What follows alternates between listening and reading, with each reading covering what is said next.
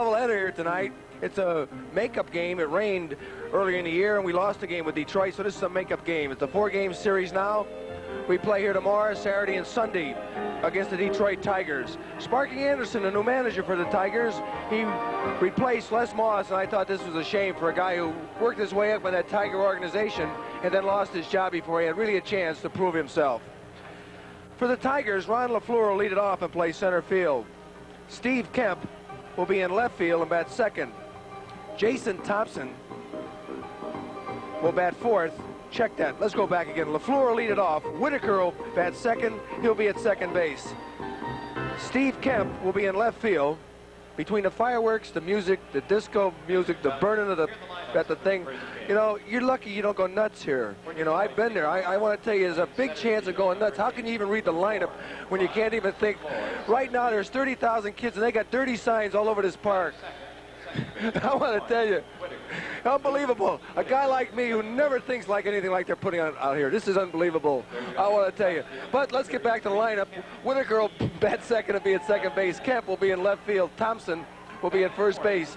John Summers will be in right field. They got him from Cincinnati. Rusty Staub will be the designated hitter. Lance Parrish, a fine young catcher, will be behind the plate. Tom Brookens, I don't know if I pronounced that name right. It sounds like a milk root will be at third base, and Alan Trammell will be at shortstop. On the mound, Pat Underwood from Kokomo, Indiana. Boys, why not? I think you guys should be pitching from Kokomo, Indiana tonight. For the White Sox, Alan Bannister, who has really been hitting that ball and driving a lot of runs of late, will lead it off again tonight, be at second base. Junior Moore will be in left field, he'll bat second. Chet Lemon will be in center field, he'll bat third. Lamar Johnson will bat fourth, he'll be at first base. Wayne Nordhagen, he'll be the designated hitter. Rusty Torres will be in left field. Jim Morrison, the young rookie up, will be at third base. He got a base hit last night and drove in a run. Also stole a base. Greg Pryor will be at shortstop, and boy, he played super defensive ball last night. Mike Colbern will be behind the plate, and on the mound, 22-year-old Fred Howard. We'll be right back with all the action here and a little bit about the pitchers right after this message. 3.72. He's 6'3", 190 pounds. He's 22 years old. He's making his 30, 13th appearance, his fifth start. Be his first start against the Tigers in his short major league career. He lost his last outing in relief against Minnesota 2 to 1. He pitched well, but he got the loss. Fastball, curveball, slider. He can be very effective when he keeps the ball down. He has one big trouble, too. He has trouble going by the fifth inning, so let's hope tonight he can get the job done. Pat Underwood, his brother Tom, pitches for the Toronto Blue Jays. He defeated him in his first outing, beat him 1 to nothing. He's now 3 0 with an ERA of 3.78. He's 6'3", 190 pounds. He's 22 years old. As I said before, he's from Kokomo, Indiana. He was the number one draft choice in 1976 in June of the Detroit Tigers. He has pitched a lot in the minor leagues for the last three years. He's 23 and 14 in the minor leagues, but has done very well since he's come up. He throws harder than his brother, does not quite have the curveball he has, but he's got good stuff. He has good control and he knows how to pitch. So it ought to be a pretty good duel here in the first game of the doubleheader with Fred Howard out for the White Sox, behind the plate Mike Colbern. Underwood for the Tigers, behind the plate Lance Parrish. We'll be right back with play-by-play -play action and Harry Caray right here at Comiskey Park where the fans will be going wild all night. On Deck has been brought to you by Howard Pontiac, where Howard's mother makes sure you get a great deal. Howard Pontiac on Grand Avenue between York Road and Route 83.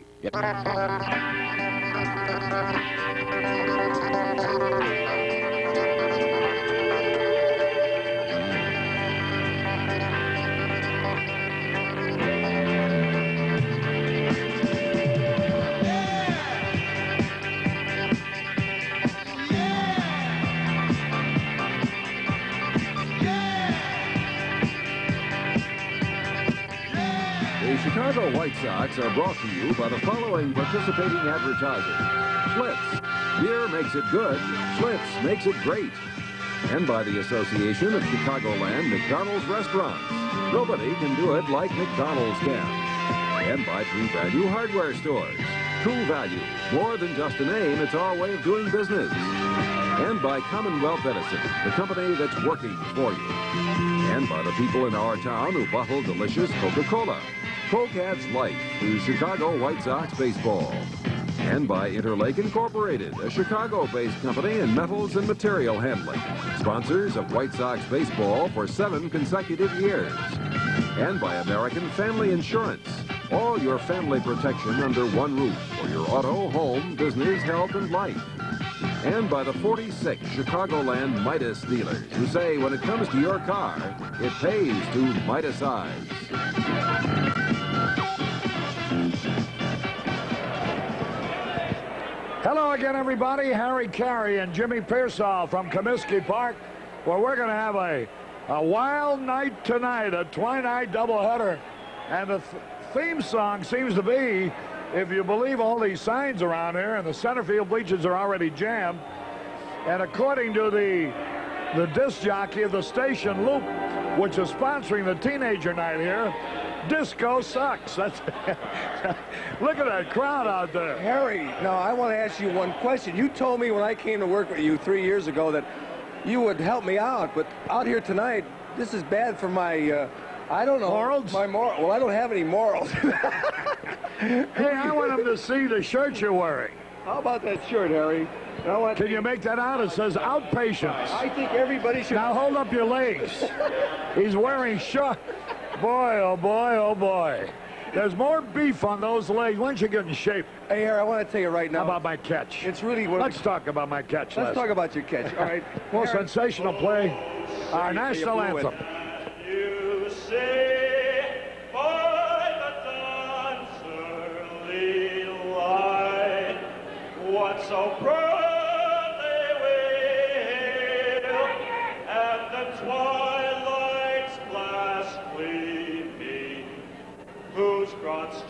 stripes and bright stars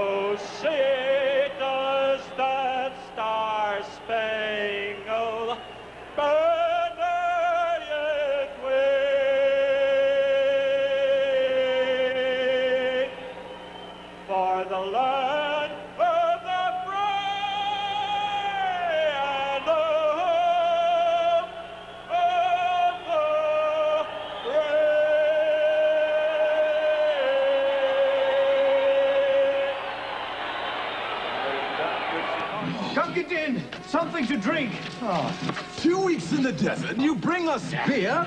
We want something. He's going to go for two in a row. He looks nice. He's all dressed up in yellow and brown.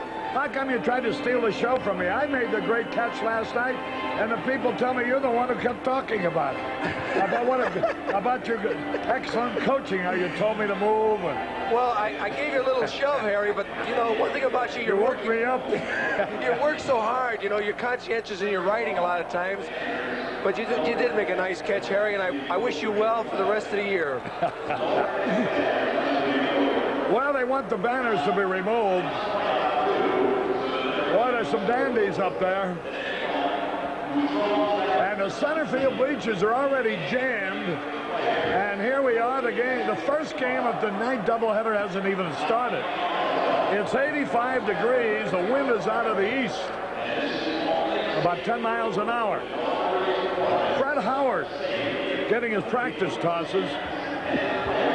Boy, the more you talk to that Steve Trout, the more you understand why he is having such such success. The kid knows exactly what, what it's all about, what he is trying to do, and why. You know, he seems, Harry, to be throwing the ball harder. Talking to Colbern after the game last night in the dugout, he said, Jim, he was throwing it, he got to believe, as fast as he'd ever caught a ball in his life, and it was hurting his hand. So the indication is that he's getting stronger as he goes along instead of weaker. Press, there's a change in the Detroit lineup.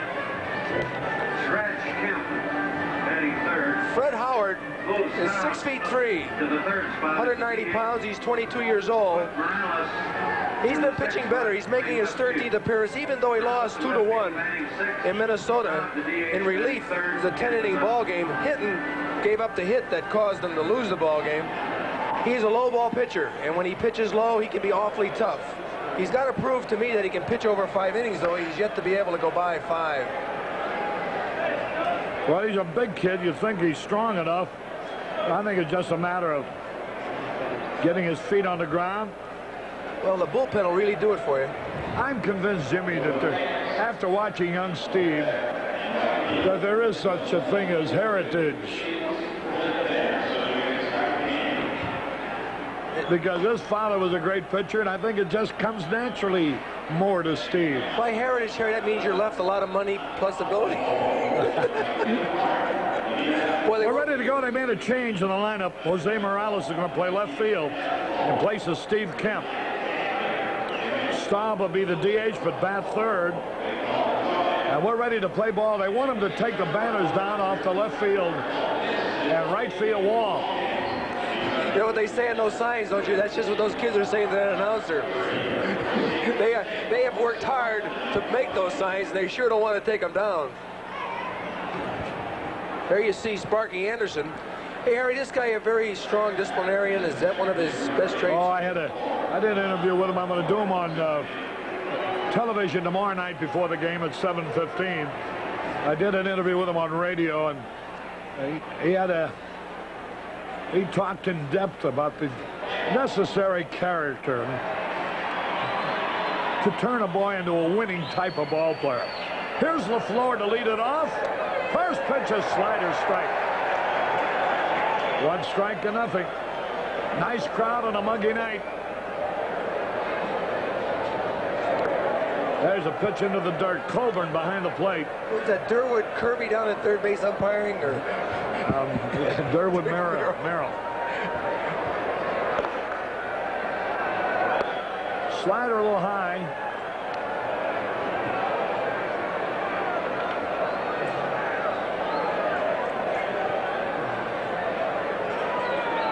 Two balls and a strike. Bouncing ball. Nice play. Morrison throws him out. Durwood Merrill is the umpire at third base. hey, Harry, you know who's the best looking guy in this club now? Is that Morrison. He's a handsome kid. So put Merrill, the umpire at third. Dallas Parks is at second. Dave Phillips is behind the plate. Dan Morrison at third. Here is Lou, Sweet Lou Whitaker hitting 306. That's Morrison at first. Yeah, Dan Morrison. Sam Morrison. One ball, no strikes, one out. Good to have LeFlore off those bases. He only leads the American League in stolen bases with 45. Two balls, no strikes. Boy, we can win this game. Have Ken Kravec to go against him in the second game. He also has scored 62 runs. The floor. Our leading run scorer is Bannister with 46. Walked him on four pitches. Here's Rusty Staub now. Hitting 228.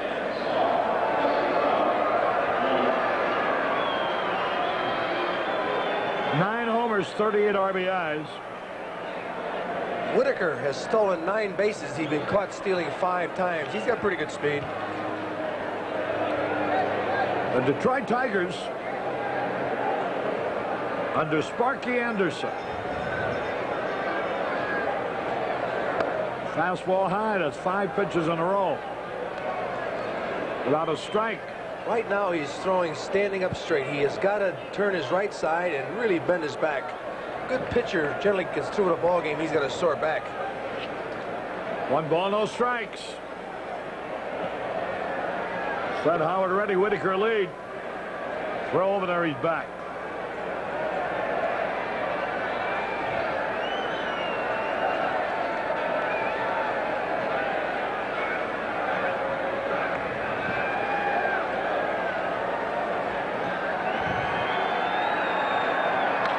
Base hit, right field.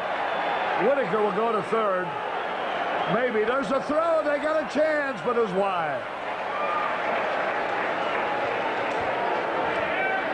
Rusty Torres playing right field. His throw was towards left field up the line. So they threaten in the very first inning. I'll feel awfully slow here. No matter how hard you hit the ball, it just sucks it right up. It's spongy and it's really hard to wait for the ball. You've got to come as fast as you can to pick it up. The infield will play back Jason Thompson hitting 270. Nine homers and 47 runs batted in. Howard's allowed a base on balls and a hit. And the Tigers threaten with runners at first and third.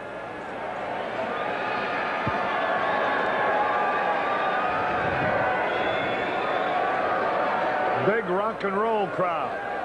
There's a stretch, the pitch, strike off.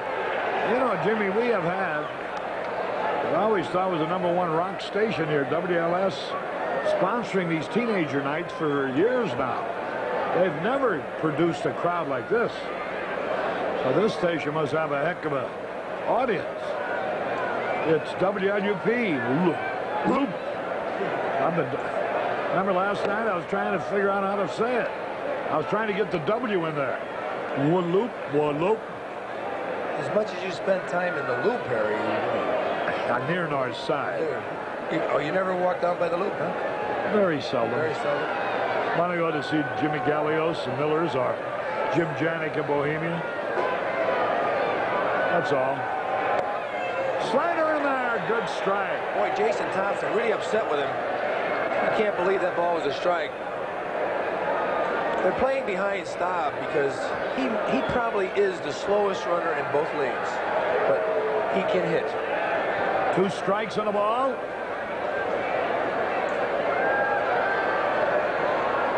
Fred Howard ready. Another dangerous left-hand hitter next.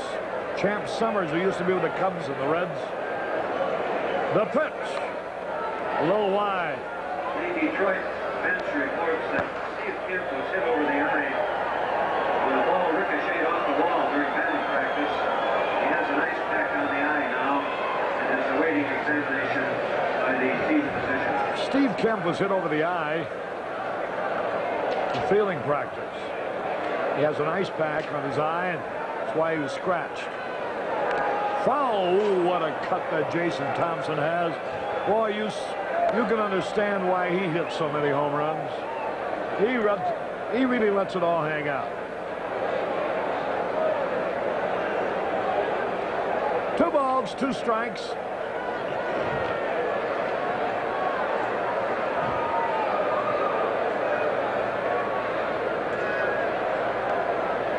Infield playing back, hoping for a double play.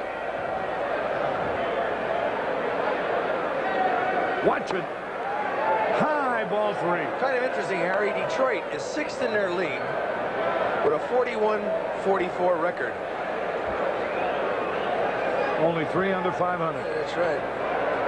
That's what happens when you have teams like the Red Sox, and Baltimore, and Milwaukee in there, and Yankee. Cleveland is even ahead of them. Three balls, two strikes. The runner on first probably will be going.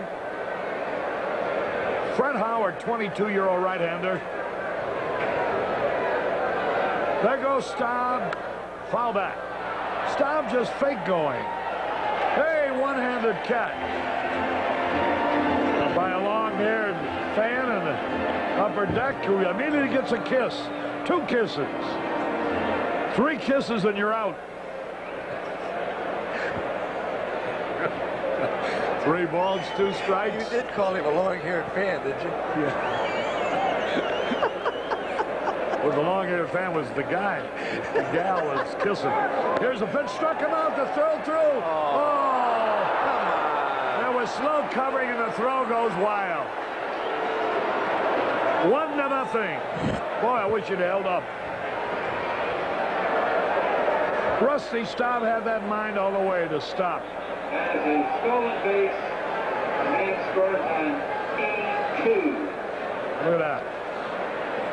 You know, Harry Pryor got there. It's just a terrible throw on Colbern's part on an easy play. All he's got to do is flip it. He tries to throw every ball through a wall. And you don't have to do that. You got to get yourself in a rhythm with the same velocity. So it's an unearned run. They have a runner at second with two out now. Here's Champ Summers hitting 311 for the year. You know, the pitcher works hard to get out of get out of a jam, and then it's not good baseball.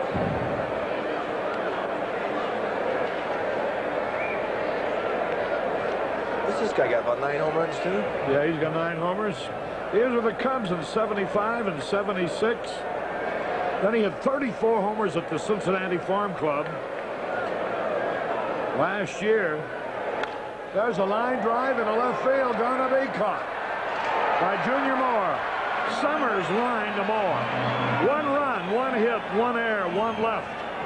We're going to the bottom of the first, one to nothing Detroit.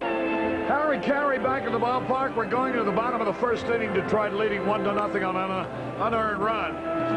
You know, earlier this year, the White Sox defeated not once but twice Tom Underwood, a left-handed pitcher with the Toronto Blue Jays. Now his brother, Pat Underwood, is pitching for the Tigers. Pat Underwood also a left-hander. Recent game, the first one that Pat pitched, he defeated Tom Underwood one to nothing. That's what you call a, a family pitching duel. He's smaller than Tom, and he's younger than Tom. They say he throws harder than Tom. They say his velocity is a little bit better because his brother has a great curveball, no doubt about it, one of the better curveballs in the American League, but his fastball has not done him justice. But this kid here, they say, has got a pretty good curve, good slider, and he got good control. So he's he's won 23 and lost 14 overall in the minor leagues in the overall picture for three years. He was the number one draft choice in June of 1976 to the Tigers. So he's earned his way here. Here's Alan Bannister to lead off. I wonder if their mother and father are left-handed too. Unusual to have two sons both left-handed. If they were both right-handed, you wouldn't think anything of it. Or one right-handed, one left-handed, maybe. But both left-handed, it proves, again, about bloodlines. The Perry brothers were both right-handed, and I know his dad was right-handed because I played golf with him. Bannister takes a strike. Good fastball. The only difference between the Perry brothers and the father, the father is about six feet seven, about 235. One ball, one strike. There's a smash. Base hit, extra bases, maybe. Bannister going for two. And he'll make it easily. Bannister opens with a double to left. He pulled that ball right down the third base line. Bannister stings another one. As I said before, that outfield grass is slow. Right by the third baseman. Morales got a long way to come, and that ball slows right up. And Banny, who can run, and by running I mean he knows how to run. Did you notice how he tagged that bag on the inside part and saved about two or three steps? That's his 99th hit of the year. There's Junior Moore. Bouncing ball. He gave himself up on that. Whitaker will throw him out, but Bannister goes to third. You can see Junior Moore deliberately trying to hit to the first base side. Seems to me that there's where a guy should be credited with a sacrifice. I believe that too.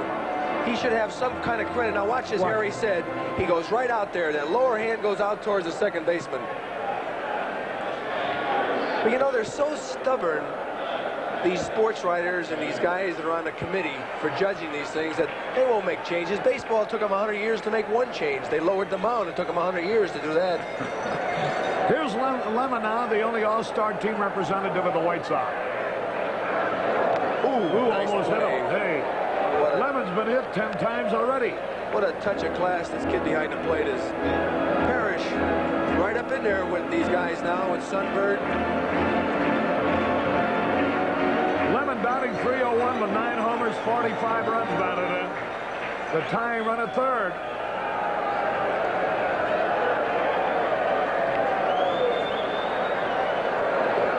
Inside. Ball two. Up on the board, they welcome the American Airlines flagship nightclub. I like the way these kids took their signs down there and they went right to it. They got them right down. And right sit back up.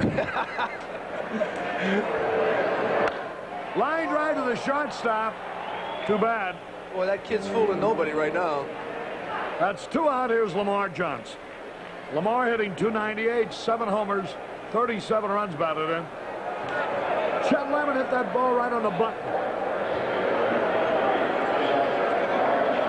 You know, it seems like we get behind ball games the last four or five games, but always manage to struggle through. Remember when Bandy made the error last night? You said, that's the way we're going to win it anyways. I heard you. I remember you saying that. See, I listened to you. Every now and then you listen. There's a pitch a little bit low, curveball. Jill Blick celebrating her 14th birthday here. This program is owned by WSNS TV through exclusive rights granted by the Chicago White Sox. It's telecast solely for your Tampa audience. Any reproduction or the use of this play-by-play description and account of this game without the express written consent of WSNS TV is prohibited. Downloads from this game. Agree with every word you said. One ball, no strikes. Good fastball at the knee. Good friend of Guy Hoffman's a fine young left-hander of the White Sox. Oscar Less.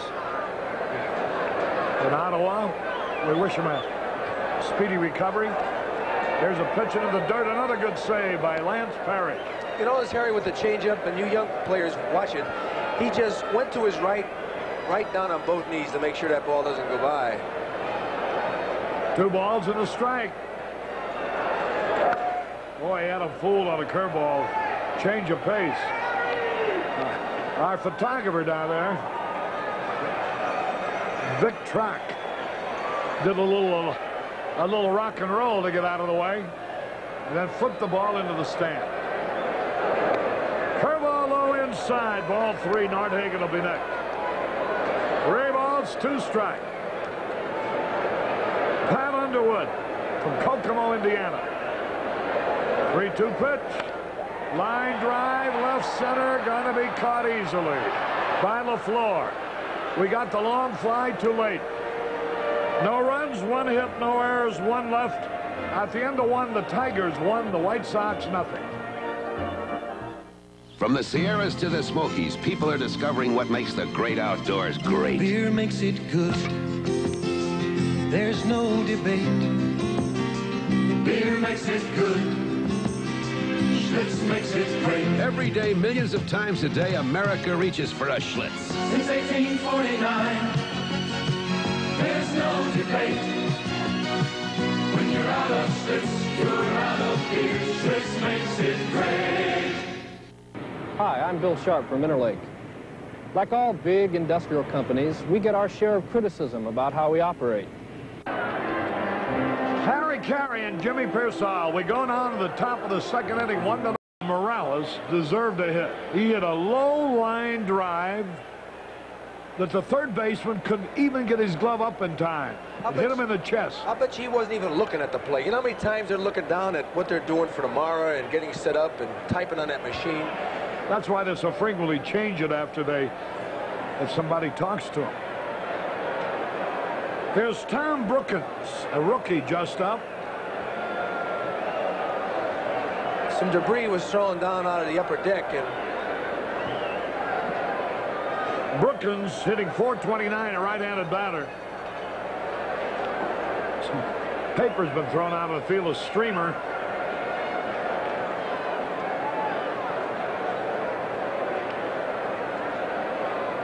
Boy, Straddles have played wide. He was popping the ball into the stands in batting practice. The pitch, swings, and he misses. I'm glad to see him playing. That guy Rodriguez, he must take at least five runs a year away from us. Sparky Anders is moving men around. He's trying to find out about his players. He's got a five-year contract, and he knows his responsibility is to win before those five years are up. There's a pitch low, so Sparky knows what it takes to win a title. And that's what he's looking for. Well, I'll tell you what, he'll know before he's through if he moves guys around he doesn't win in Detroit. Those fans are running out of town. Ball and a strike. Tom Brookens, the third baseman. There's a drive that'll score a run. Brookens lines one into the left field corner. He's going for extra bases. And he may try for three. Here's a throw. Nothing to the throw, and he makes it. A triple. That's Brookens' fourth hit and eight times at bat since he came to the big league. So that's why he's using Brookens. Watch this right now. He hits a low slider. Moore, instead of getting over in front of the ball as it comes off the wall, he plays it on the side a little bit, see? And the bounce back on his right is a tough play. You know, the wire in that fence there, Harry, in the lower part of it, near the Picnic picnic, area, area. when it hits those wire meshes, it just bounces funny. One time one way, another time another. So now the infield is in with one out. It's already two to nothing in favor of the Tigers. Fred Howard's pitch. The squeeze is on. He bunts foul. Alan Trammell, the batter. Nobody warming up, and Howard really not having too much. He's been hit awfully hard here in the first two innings. Big crowd's going to be on hand here tonight. Harry, look at this. I want you to remember this. An elaborate funeral wreath shows up at the site where an unidentified body is buried. Saturday at 5 on the Untouchables. Don't forget that now, Coach. That's one thing about the Untouchables. They always send pretty flowers to funerals. That's right. We had a few in New York today. Play inside. The count is evened up at a ball and a strike. Two to nothing in favor of Detroit. Must Boy, be, they're really hitting the ball. they must be, he's going to go a long way because there's nobody warming up. Infield in. The pitch to Alan Trammell. Bouncing ball. Pryor's going to throw to the plate. He is out trying to score. Pryor had to go to his left. His throw was into the dirt, but Colbern came up with it and made the tag. Fielder's choice to play on six, two.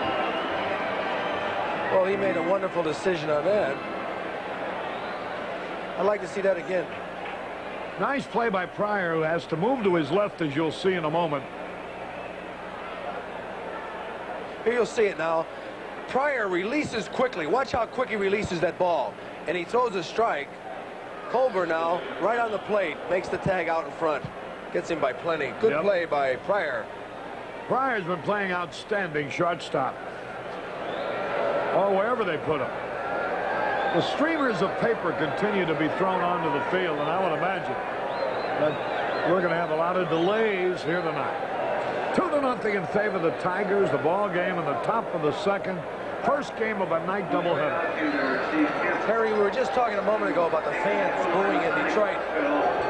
For precautionary x-rays. That's his right eye.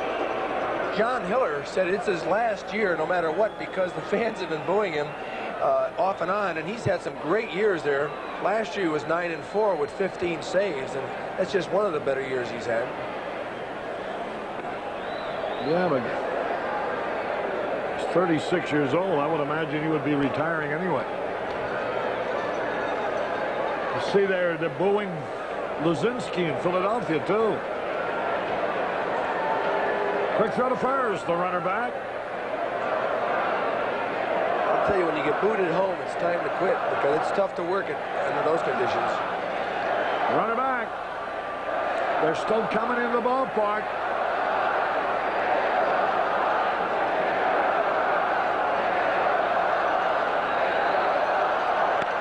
Ground ball to Morrison. He's got it. Throws to Bannister for the force play. And it's one run. Really two hits, but they only credit one.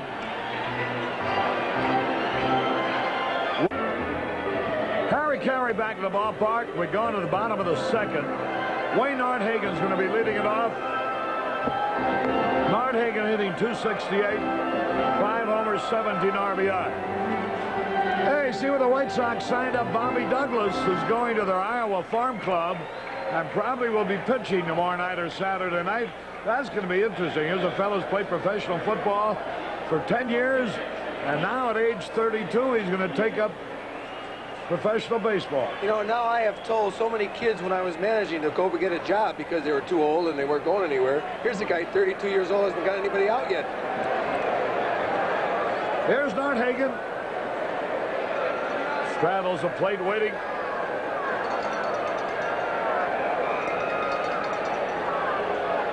Pat Underwood's first pitch. Slider a little bit inside. Bobby Bonds says that he's going to play out his contract. Wants to be traded. Who's going to take him 440000 a year? There's a pitch a little bit low and inside. Brad Corbett. He already had him. He went that route. He's, he's got to circle a little bit. Well, he's got a contract as a uh, guaranteed for three more years. Two balls, no strikes. Swung on ground ball, easy out. Trammell's got it. One away. Here's Rusty Torres. The Tigers have won three out of four this year from the White Sox. Crowd still gathering here. We're going to have a fine turnout. Pacing yourself for a long night, you know that yeah, that? right. Long, hot. And I think it's going to be a very eventful night. One out, nobody on. There's a drive. Fair ball into the corner. What's he doing? He must have missed first base.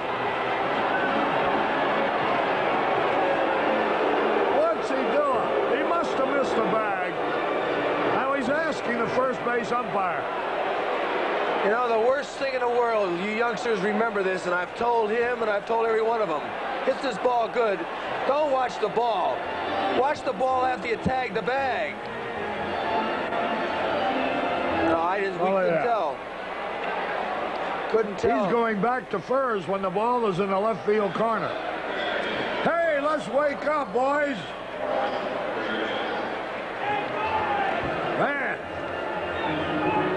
One on. Here's Jim Morrison. He's one out of three with the White Sox. And drove in a run. Swings at a breaking ball and he missed. Morrison has faced all these guys and played against most of them. Summers. How do you pronounce that third baseman? Brooken? Brookens Brookens. playing deep at third base. Line foul. Well, I tell you, we got a lot of very attractive young people here. I never heard of this station, Loop. Loop. But uh, my respect and regard for them is soaring to new heights. They fill the ballpark. What kind of music do they play? Rock and roll. Rock and roll. Well, they won't get my boy. Foul tip. IFM. They hate this. 103. Yeah, they're 98, I think. 98. They can blow up their, their records, too. Two strikes or nothing. Time call. Let's see what's been thrown out there now. Banners all over the place. And they've certainly come supplied with streamers of paper. What do you think? We're going to have about 40? M- We may. You know, it's just the first game. And, Now, people don't start coming to the ballpark till around 7 o'clock. and the way these seats are spaced out, Angel Fonticchio. sounds like a... Watch it again. he sounds like... he sounds like a wrestler who just lost a girl. again. Oh,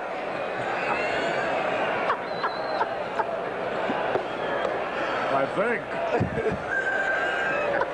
Boy, we're both in trouble, but isn't. Two strikes. what's new? Two strikes what's and a ball. about getting in trouble? And Steve Dahl must have a great audience.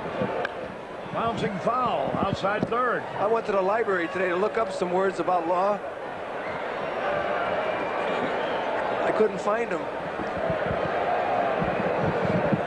What was that? Do that again, that Mike.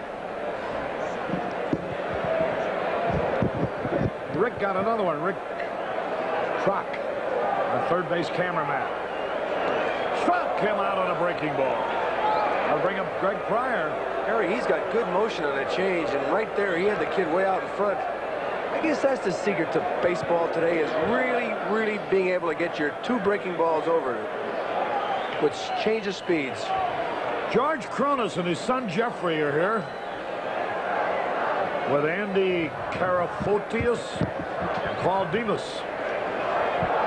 Joe Nucky and his nephews are all here, little leaguers.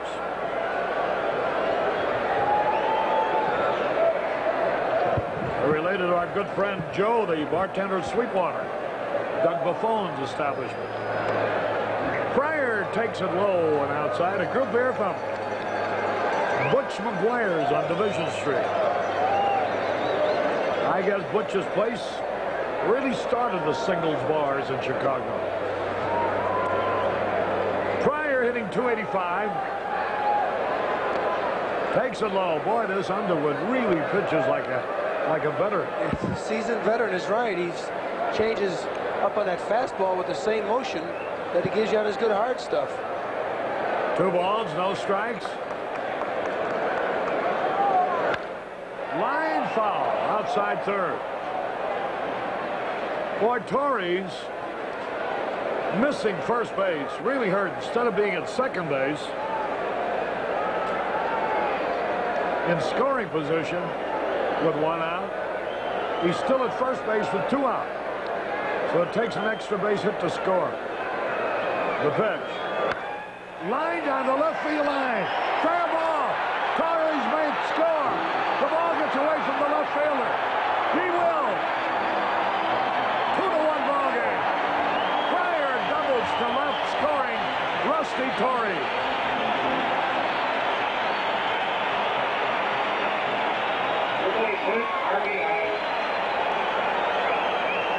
Pryor's 22nd run batted in this year. Watch Pryor now guarding that plate, gets a low fastball and rips it right into the corner. Morales now having the same trouble off that wall as Moore had. Look how that ball just jumps out there. Torres going to score easy and gets himself out of a jam for not tagging first base. Boy, he feels better sitting right down now. Boy, Mike glad. Just think if we needed that run and we lost by a run. Yeah. Two to one in favor of the Tigers. Again, the game is delayed. The streamers are paper coming out of the upper deck in center field. And now the right fielder, Summers. I think I inadvertently said Summers in left field a moment ago. It was Morales who was having difficulty as the ball rolled around the corner. There was no chance to get Rusty Torres anyhow because with two out, he was running all the way. Summers is in right. LeFlore in center, Morales in left. A lot of clubs off tonight, huh? A lot of clubs off in baseball. A lot of clubs aren't playing tonight around the league. Yeah, a lot of open days. Seattle won 16 to 1 over the New York Yankees. Tommy John. They have beaten the Yankees five straight times at their ballpark. Have a winning streak of five in a row over them. And I think they've beat them something like 10 out of the last 13 at Seattle. Hey, you know, Harry, also reading in the paper this morning where Sundberg. Oh, yeah. Uh, now, I, I don't understand why Sundberg, who is having a tough year and comes in here and really, we love him as a catcher, but has not been doing that good a job against us. A guy stole second easy on him last night. Of course, we give him the benefit of the doubt when the other two guys stole. He struck out with a in a in a position where he could have drove in some runs, and then he says he looks out at the play of our players, and it makes him want to puke. It must have been his hemorrhoids that caused that, Harry. Well, no, I tell you something. That's why some clubs have a 15-minute cooling off period. And I think they should have it. Now, we know Jim Sundberg uh, normally is a very, just a great kid. But in the so frustrated about losing again to the White Sox, he popped off something he wouldn't ordinarily say. And I think the ball player deserves that 15-minute or, or 20-minute cooling off period so they can collect his thoughts before having to face the press. I used to love to play with Ted Williams because they cooled off for 12 minutes, and they never came in the clubhouse before the game. You never see these guys you see sneaking around. Who's this guy? Where did he come from? Who give that guy a card? Get him out. You couldn't talk to your guy next to you without somebody listening from behind. Well, when you're with Ted Williams, you never saw him in there. He'd throw him out the window. Here's a pitch now to Colbern. Bouncing ball that'll end this inning. Trammell's got it. Easy out. Colbern on the first pitch rolls out. One run, two hits, no errors, one left. At the end of two, the Tigers are leading two to one. You'll never be a manager. Harry Caray with Jimmy Piersall. We go into the top of the third. It's two to one in favor of the Tigers. They're here from Muskegon where they watch our games on cable. Jeff, Jim, Craig, and Carl. I imagine we have a lot of Michiganders here. Here's a bunt by Sweet Lou Whitaker foul. They're from J.C. Penney in Yorktown, a big group. And also from the Aurora Area Blood Bank. One strike and nothing.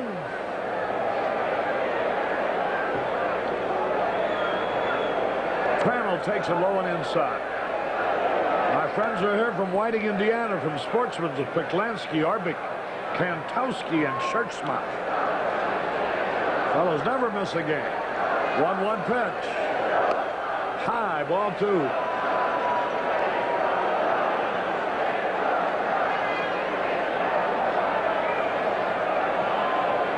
Outfield, not too deep, but over towards left center. Here's the pitch, and it's high. Three balls and a strike. Jimmy last season said he liked to know oh, a good-looking grandmother. He didn't like the baby sister types. So a young senior citizen written a note to him. You should read it.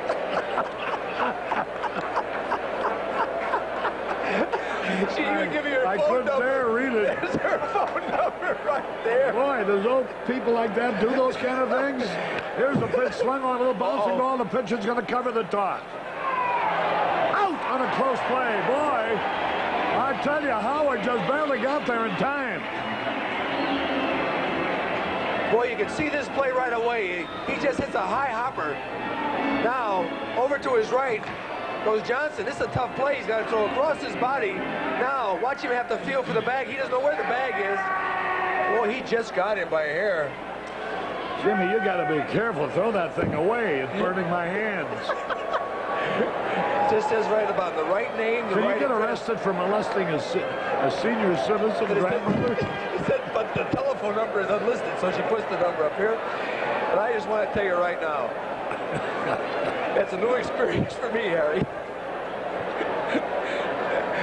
well, from one grandfather to a grandmother, it's nice to know you. There's a pitch a little bit inside. A ball and a strike. Now we'll get, we'll get, I guess we'll get a memo on that, Jimmy. But the grandmother, nobody will, nobody will write her a letter and say don't do those kind of things. One-one pitch. I'm a little. You mean if I get an old mobile home down in Florida, you get those kind of calls? oh, I love it. Well, uh, I love it. The world is full of fun. well, according to Masters and Johnson,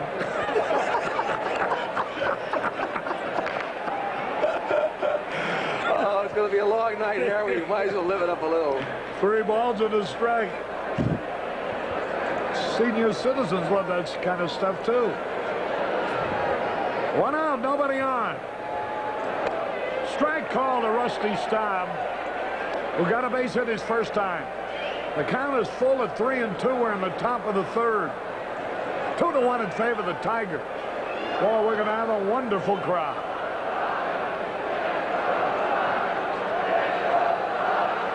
They got a chant here. I don't want to turn it down. Listen here, that 3-2 pitch. Pull foul outside first. Gates Seniors- Brown coaching at first base. Dick Tracewski at third base. Senior citizens ladies should hear that chant. But when it, about, oh, I'd say about 10 o'clock when they start that again, Harry, they'll knock the joint down. Three balls, two strikes. Gang here from Ireland's restaurant tonight. Pull foul. And the Rookin family from Sarasota, Florida. The Don Rookin. Rudin.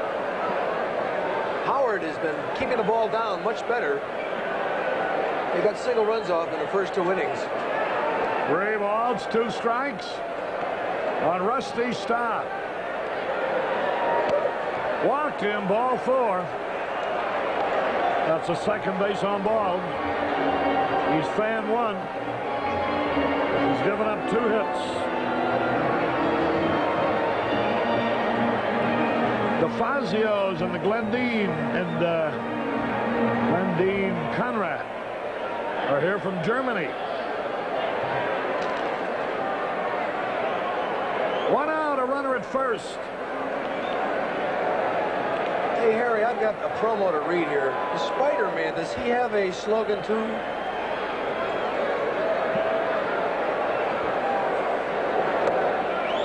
You better let me read that before you read it on the air. After reading your letter from the grandmother, I better, I better proofread this one.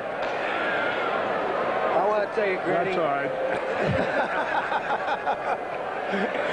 oh, my. Let's get a double play. One out, one on. There's a pitch high. A ball and a strike. Boy, you get a letter like that from a grandmother. So many wives always have headaches.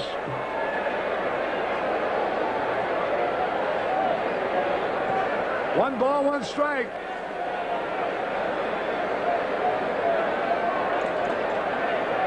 Staub's not going anywhere. He doesn't run at all. Jason Thompson, the hitter, and long ball threat.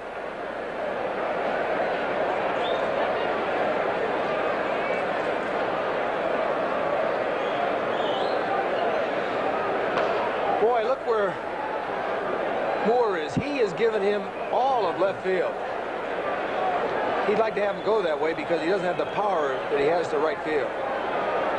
The delivery. Strike at the knee.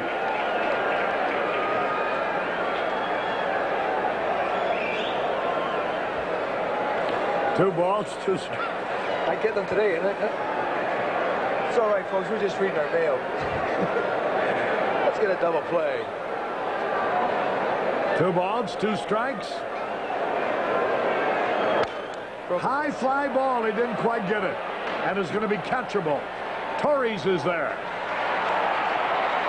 That's two away, and it brings up Champ Summers, who lined the ball hard right at Junior Moore in the first inning. Another great Friday, which is tomorrow the 13th, is planned as the White Sox take on Detroit again. The first 10,000 youngsters, 14 and under, with paid adult, will get a free Presto Magic Kit from Papermate, a division of Gillette. That's not all now. Spider-Man will be on hand entertaining youngsters, and there will be magic tricks everywhere. Whoopee! Boy, Harry, they're to they're gonna see if they can disappear the two of us. Spider-Man. Two men are out. I hope this Parker's left here after tomorrow night. The delivery. Strike call. Summers is at nine homers already. He's really, really done a terrific job since the Tigers brought him up. They acquired him from the Cincinnati Reds. You know, the one thing they had was infielders. The one thing we've had is outfielders in our organization. So the Tigers, just the reverse of our club, has gone out and come up with a couple of players. One strike and nothing. The pitch. Off speed outside. That evens it up a ball and a strike. Boy, they got banners all over the place. This is Disco Demolition Night.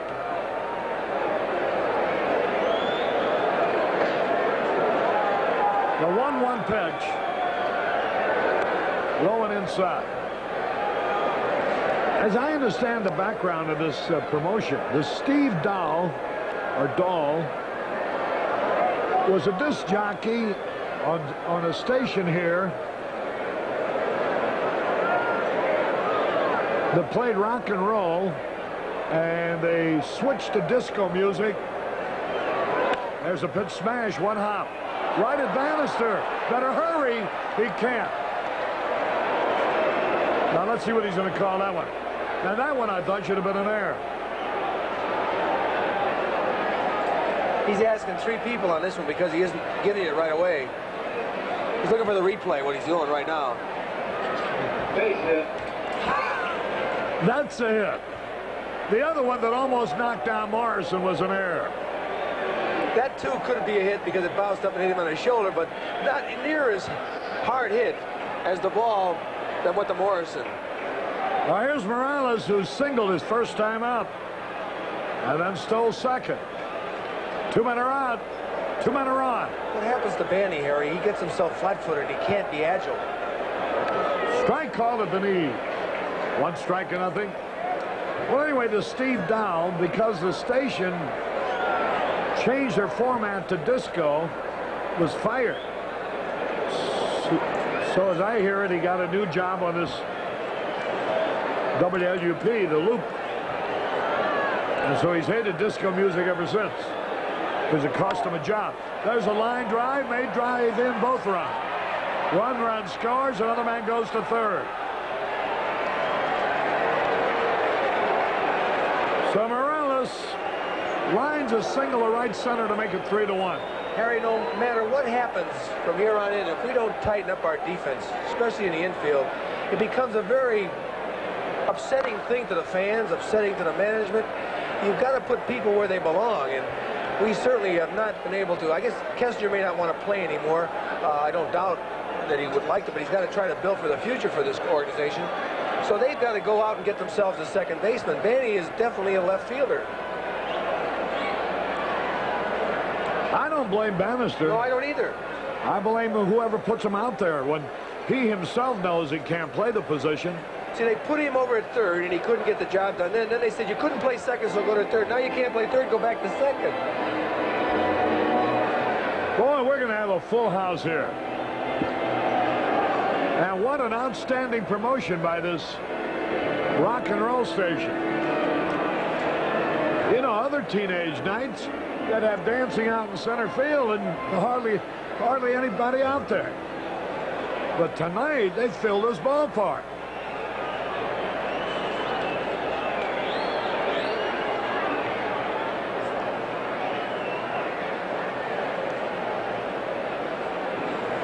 Bob Surratt, you're always talking about doing Cub games. You better look back over your shoulder, pal, because if this reflects audience, these guys must have a far bigger audience than WLS. They have actually filled the ballpark on their promotion. Here's a pitch swung on and missed. What do you expect from a guy that, that wants to do Cub games? nah, I mean, he'd have had an audience if his ambition was to do White Sox games. One strike and nothing. Runners at first and third. First game of the doubleheader. Three to one in favor of the Tigers. Parrish. Long ball hitter. Bouncing ball foul. Two strikes and nothing. Well, you know, the way Bannister can hit, Harry, if you can get him somewhere where he can be relaxed, where he knows he can play, no telling how good a hitter he's going to be. But this way here, when you're out there and you know you got to struggle on every play, it isn't easy for him. He gives you his best effort, but it's not easy. Two strikes and nothing.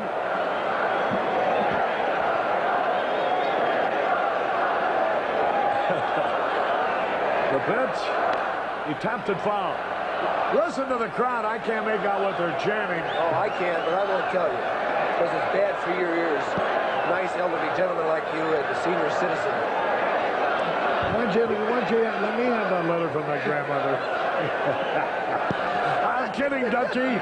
Just joking. I heard Dutchie. She just said, give it to him. Two strikes and nothing. She's got pretty handwriting on pink paper. There goes the run on first. Struck him out. Parrish goes down swinging. One run. Two hits. No air charge. Two left. He's walked two men and both of them scored. We go to the bottom of the third. Detroit three. Harry Caray back in the ballpark. The White Sox are trailing three to one. Alan Bannister opened with a double and was stranded in the first inning. Boy, it looks like our team needs a Texas uniform to bring them to life. We really look flat so far tonight. We're swinging the bats pretty good off of this guy. We've gotten three hits, hit the ball hard.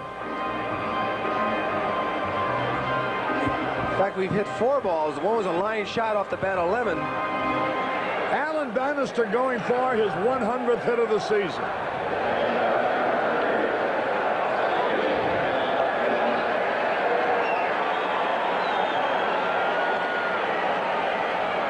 Pat Underwood, the little left-hander, who's won three, lost none. A perfect record. Last ball in there.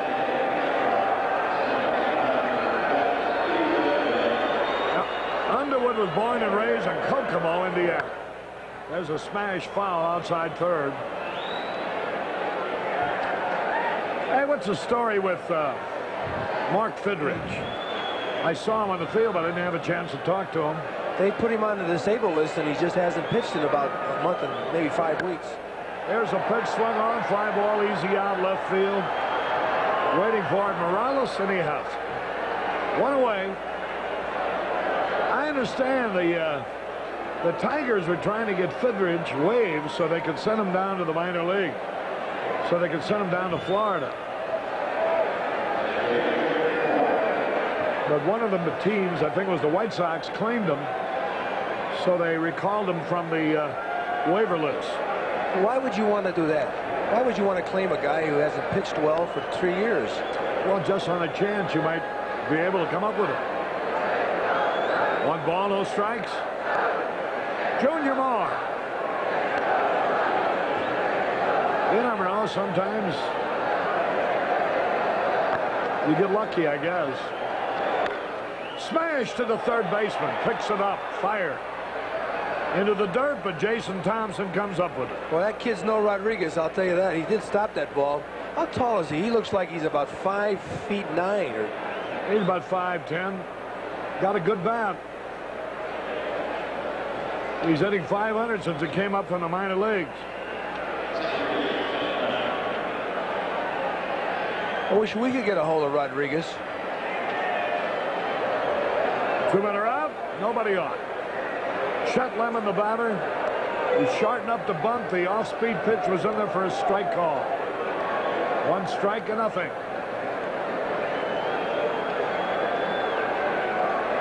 Two men are gone. We're in the third.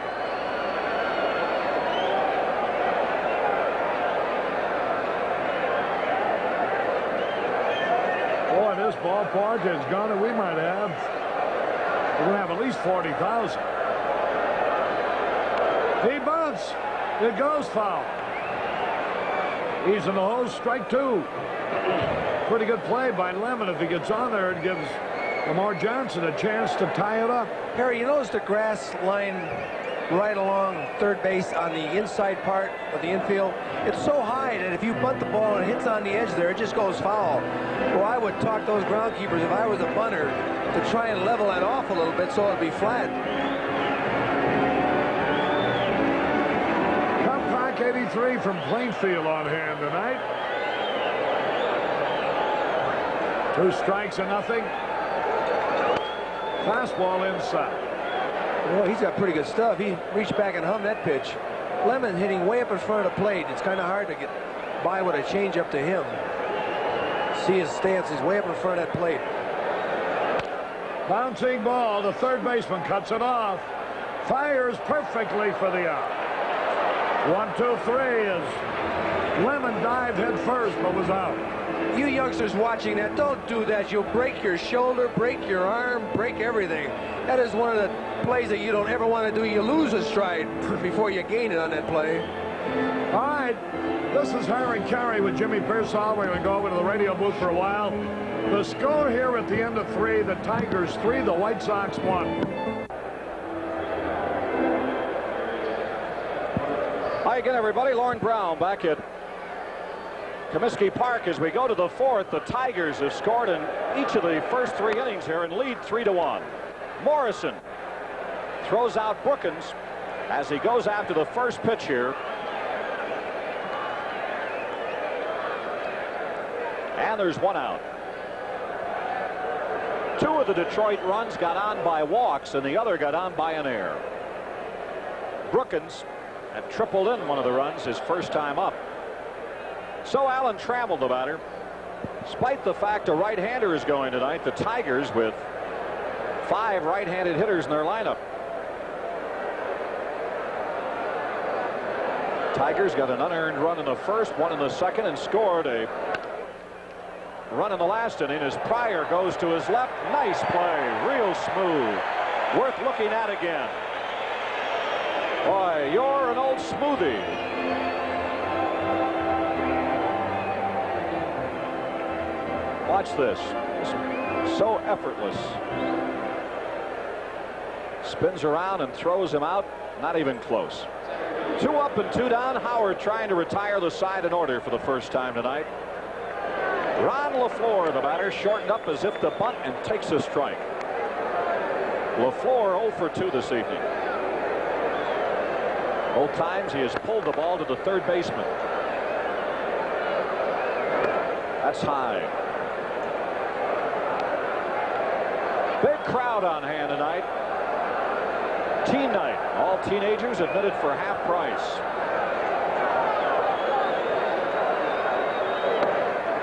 That's the ball.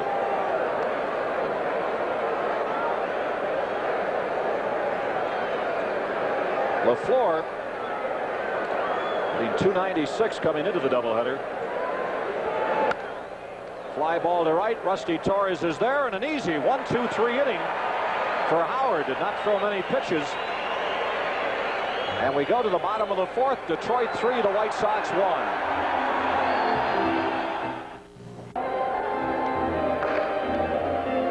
Brown back at Comiskey Park as we go to the bottom of the fourth. It'll be Johnson, Nordhagen, and Torres. The White Sox have loaded their lineup with right-handed hitters here tonight. Against Underwood, not a left-hander in the group. The only one that's close to it is Torres, a switch hitter.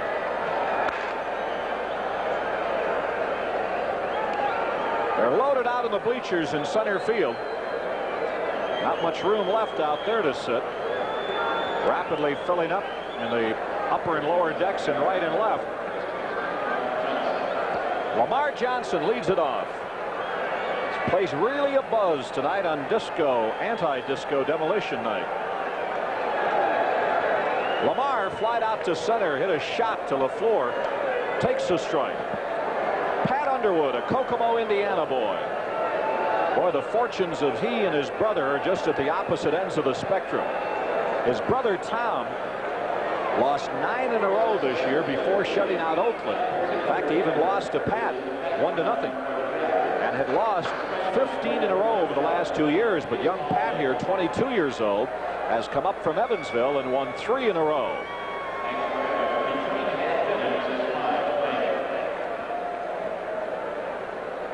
One strike in the batter. Underwood has given up three hits. All three should have been doubles. But for some reason, Rusty Torres stopped at first when he hit a ball into the left field corner.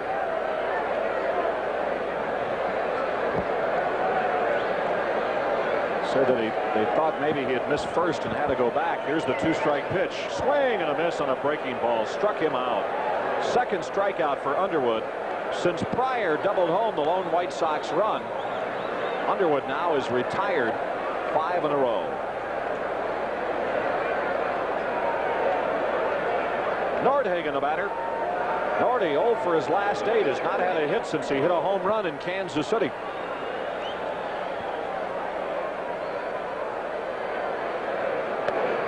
White Sox fallen behind now in their last three ball games. Back to win the previous two against Texas, hoping to do the same here tonight in game one against Detroit. Fly ball to left. Morales going back. And he has a play right at the base of the picnic area. And there's two out. Just got underneath that ball a little too much. Why Bannister hit one to the warning track.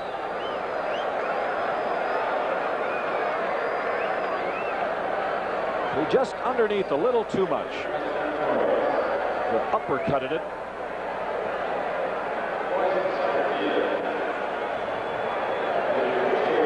Still having trouble with the fans out in center field continually hanging a banner out. Which affects the hitter's background as they remove it now. Rusty Torres with a single tonight. Nobody on and two out. Takes a strike. Steve Kemp was taken to Illinois Masonic Hospital for precautionary x-rays after being hit over the eye with a ball that ricocheted off the wall in batting practice. So the Tiger representative to the All-Star game not in the lineup here tonight as Torres misses strike two.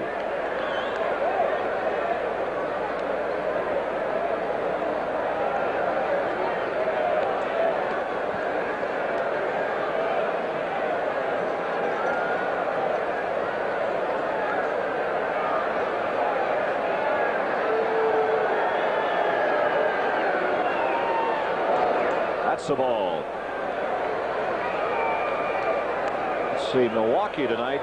They did not score in the first. Going with Moose Haas. Lazy fly ball to left center field. And that retires the side. The White Sox retired one, two, three for the second straight inning. Seven in a row now retired by Underwood. As we're through four innings of play, Detroit 3, the White Sox 1.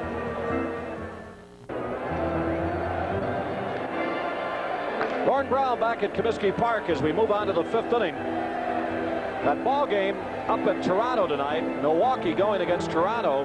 Pat Underwood, who's pitching here for the Tigers, his brother Tom is pitching for Toronto tonight with a 3-11 record going against Moose Haas. San Francisco at Montreal just underway. Count Montefusco going against Rogers. The count one and four, Rogers nine and five. And San Diego is at Philadelphia, Shirley four and nine. Going against Carlton ten and nine. Here the Tigers lead three to one. Lou Whitaker leads it off. 0 for 1 officially. He walked and scored in the first. Takes his strike. Fred Howard on the mound has not done a bad job. Conceivably, this could be a one-to-one -one tie now. An error in the first and an error in the second helped the Tigers score a couple.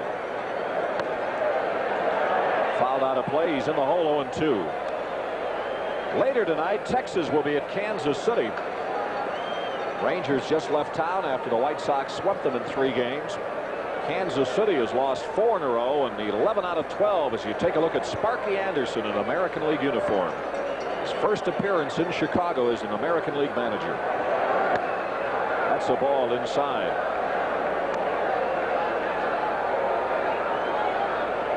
Sparky had great success with Cincinnati. Won the World Series back in 75.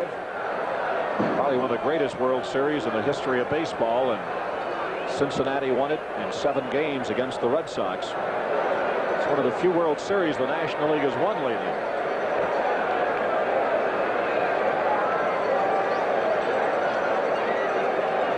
Anderson a winning percentage as a manager as Whitaker fouls it off of 617. That is the highest in the history of baseball with the exception of Joe McCarthy. Only Joe McCarthy had a better win one-loss percentage as a manager than Sparky Anderson.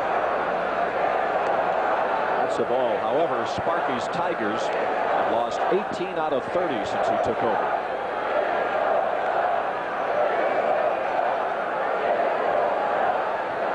Two-two the count.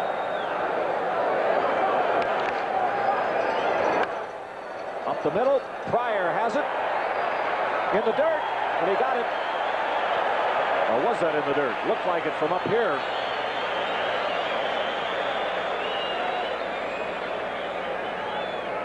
That ball looked like it might get through. Straight up the middle, but Pryor to his left makes his patented pirouette and got him just shoelace high. So there's one out. Rusty Staub has been on twice tonight. A single and a walk. He has stolen a base and he has scored a run. St. Bernardine's Team Club from Oak Park is here tonight. 1-0 pitch. Fouled off. Well, the two second place clubs in the National League go at it tonight. The Cubs in Cincinnati. Cubs trailing Montreal by four and a half games. Cincinnati five and a half back of Houston. Los Angeles at New York tonight. Hooton going against Ellis. Strike two. Hooton 7 and 6, Ellis 0 and 2. Those are the two last place clubs in the National League. Dodgers 16 and a half back, the Mets 15 and a half back.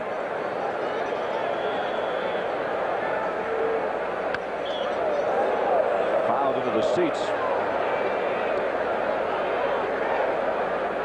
In fact, the Mets have played better ball than the Dodgers. A winning percentage of 407. The Dodgers at 404.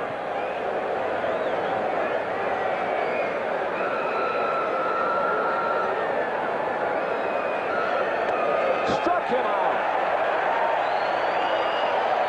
Staub didn't like it. Hey, Rusty, one of the true pure hitters in the game of baseball. He does not strike out much. That's only the 18th time that he has struck out in 231 times at bat.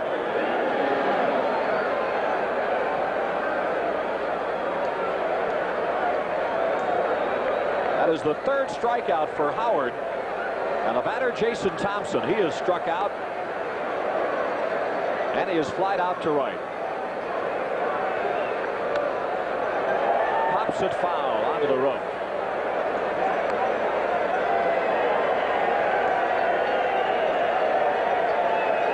Don Kessinger and Bobby Winkles and Joe Sparks, the brain trust of the White Sox.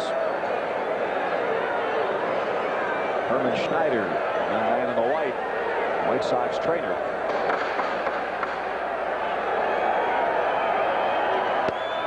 High ball. Lorelei is upstairs, so we'll be having her on shortly. Representing WLUP FM. Here's the 1-1 delivery. That's a strike. Milwaukee, Toronto scoreless at the end of one. Cubs are just getting underway at Cincinnati.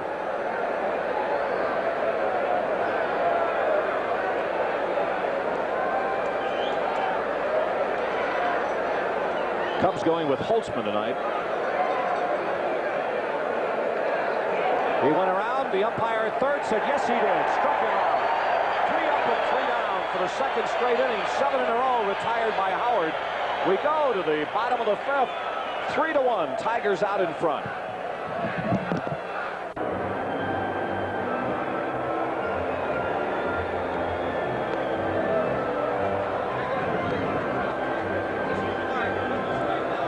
Who has taken Chicago by storm the last few months with her uh, television commercials for WLUP and everything else. And you'll see her on camera here in just a second. How do you like Chicago, dear? Yeah, I love it. It's terrific. What do you think of this crowd?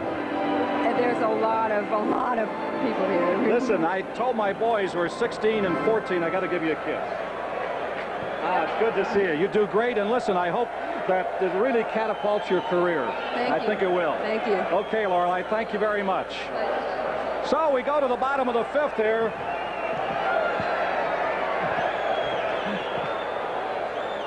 Three to one.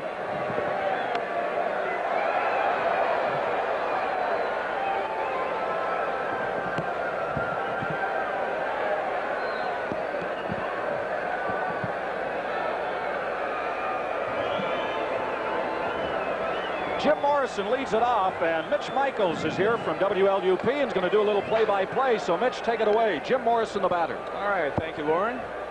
Uh, a great night for a ball game and uh, a great night for a disco destruction, I might say. Really? Well, she's a stunner, isn't she? There's a lot of folks outside, and there's still room, so we would like to see anybody come down if they want to. A hot and smoky one. Three to one, the Tigers are leading. That's ball two. Two balls and two strikes on Morrison. Leading off in the fifth. We got to get some runs for the Sox. Got to. That's it. Left-hander delivers. Oh, and the oh, said he went around on it, struck him out. That's the third strikeout for Underwood. And here is Mr. Pryor. Greg has accounted for our only run tonight with a double. That was back in the second inning. Uh, I was still on the radio at that point. Good. So he's one for one tonight, huh?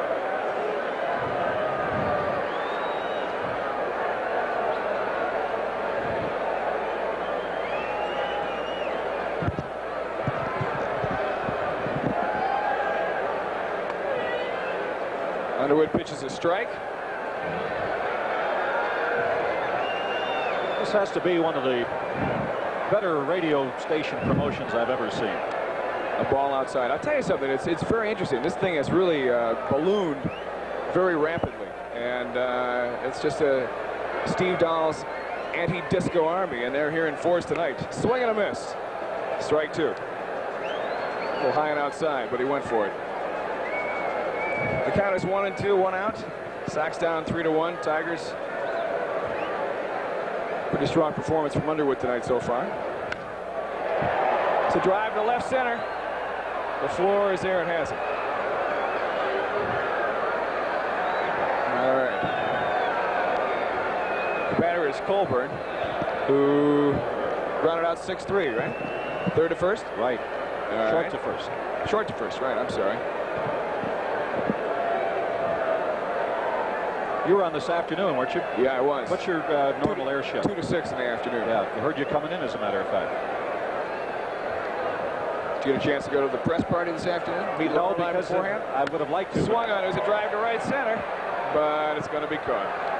That ends the inning. This kid is tough. He's now retired 10 in a row as we go to the sixth inning. Detroit 3, the White Sox 1. Center field, right field, left field. Brown back at Comiskey Park with Mitch Michaels from WLUP FM as we go to the sixth. And Mitch is going to do another half inning here as the Tigers come to bat. They'll have Summers, Morales, and Parrish as they lead it by a score of three to one. and we'll see if Fred Howard can hold him this inning and uh, get the Sox back up and get some runs here. Three to one. A hot and sticky night in Chicago and a great night for a ball game. Twilight doubleheader. This is the second game and lots of time for you all to come out and, uh, and see the White Sox. Exciting baseball out here tonight. Summers, a left-hand hitter.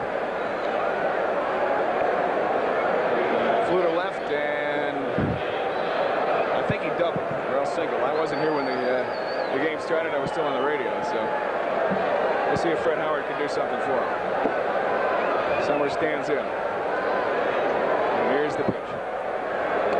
Ball outside.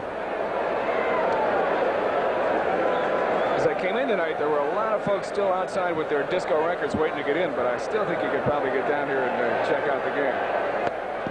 It's ball two. Again, a little outside.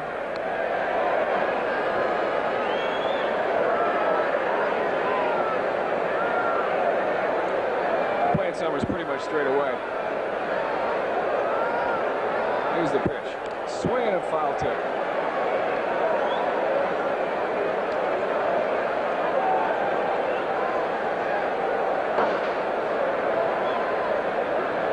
Fred Howard one and three this year.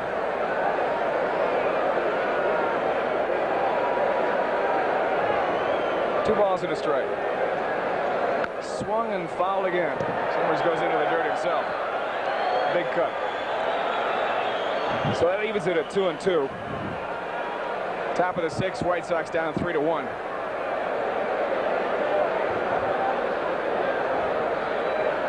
Went for a low inside, low inside pitch that time and uh, turned himself around. Could have been a corkscrew to gone right into the ground. Two and two. Summers is ready. Here's the pitch. It's a line single right field. Solid shot. No question about it. That's his second hit, Mitch, and that stops a string of seven in a row retired by Howard. We'll see if we can get a double play ball on this one. It's Jerry Morales. Familiar name to uh, Chicago baseball fans. He played some, uh, some pretty good center field and some pretty good outfield for the Cubs over the years. Good hitter. He's found a home in Detroit after traveling to St. Louis. This is his second year with Detroit, isn't it? Now, this is the first year. Oh, okay, that's right. Last year he was with St. Louis. I forgot. There goes the runner. Throw down to second base, but he's in there. Throws little Tigers of stealing. Yeah. That's their third stolen base. Throw is a little to the left of the base. And Let's take a look at it again. There he goes. The pitch is a strike. That's the second time that a runner has gone on the first pitch. Morales had done it earlier tonight. Now activity in the bullpen. A left-hander and a right-hander down there throwing. Morrison holds the runner on at second and throws him out. all right. So one out and Parrish the batter. Guy Hoffman and Ed Farmer in the bullpen. Farmer's had a couple of good outings in the past uh, couple of nights against Texas. Looked real good in relief. Yes, he did. Saved one game, and uh, although he didn't get a save in the first one that he pitched in, uh, got the big out at the end of the game and uh, kept that sock streak alive. Here's Parrish. What did he do last time? Parrish is flat out and struck out tonight. And there's a, a disco record just tossed out of the field. I would hope they would wait to between games hope before so that. too. Yeah. Everybody's here to have a good time, but there's no reason to disrupt the ball game.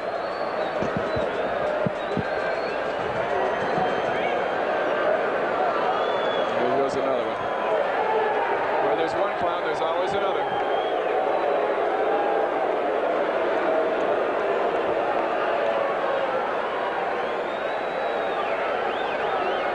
Some fan told a youngster, he said, next time you're going over. Realize that the danger of throwing things on a, on a playing field like that, too. The danger of the athletes out there. All right. Here's the pitch. Oh, it's in there for a strike.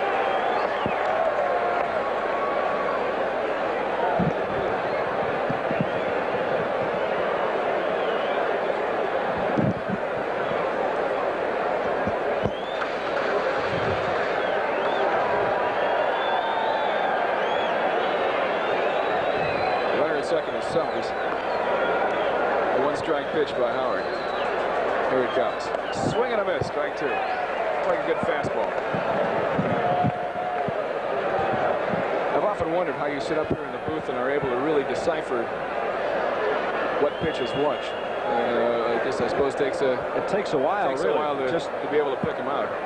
Oftentimes, oftentimes uh, it's tough even on the breaking balls. And if you hear an, an announcer say breaking ball, he's he's being correct. But oftentimes he doesn't know whether it's a. There goes the runner. the runner.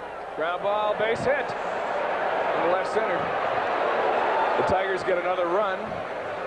It makes it four to one. And the activity continues in the White Sox bullpen. Oftentimes, Mitch, you don't know whether it's a slider or a curveball, but you can tell pretty much how the batter reacts. That's one of the things as Kessinger comes to the mound. So we might have a change here. Detroit out in front, four to one. They've scored in all but the fourth inning. Now he's calling for the right-hander. Looks like Ed Farmer will be. So the move is made. Howard is out of the ball game. And Ed Farmer comes on, and we'll be back right after this message. I'm here three years. Lorn Brown back with Mitch Michaels as we're in the sixth. And uh, correction on that, Detroit has scored in every inning but the fourth and fifth. Howard had retired seven in a row, but a pair of singles with a stolen base here has scored another run. So Howard went five in the third innings, allowed four runs, only two of them earned on six hits, walked two, struck out four. And the runner on first is his responsibility. Ed Farmer comes into the ball game. Farmer has won two. He's lost three. He saved a ball game in his last outing and has an earned run average of 5.29. And the first man that he will face will be Tom Brookens. Uh, Farmer's looked good in the last couple of outings. Like you said, Lorn, he had a save uh, the last time out, and uh, the night before that against Texas looked pretty good, too. So we'll see if we can stem the tide here and uh, plug up the uh, plug up the Tigers a little bit. Runner on first with one out.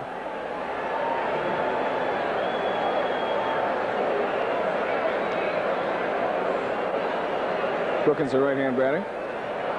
Throw over to first base, just to keep him honest, I think.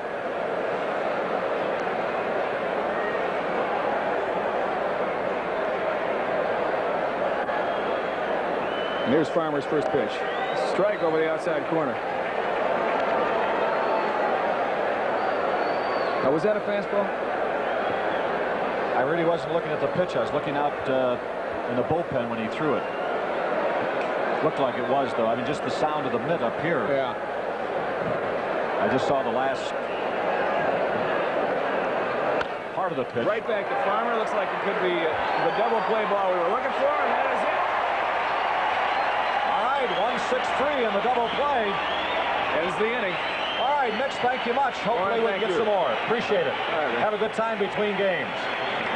Mitch Michaels here helping us out in the sixth. Tigers with one run on two hits. No errors, nobody left on. We go to the bottom of the sixth. Detroit four, the White Sox one. Fool not to. Lorn Brown back at Comiskey Park as we go to the bottom of the sixth. Tigers leading four to one. White Sox try to get back into it here against Pat Underwood, who has been tough. He has retired 11 in a row since Pryor doubled home Torres in the second inning. It'll be the top of the order, Bannister, Moore, and Lemon. Richard Boone locks himself and a condemned man in jail for protection on Have Gun Will Travel. Saturday at 4.30 here on Channel 44. Mayberry has hit a home run for Toronto. His 15th of the year with nobody on in the second.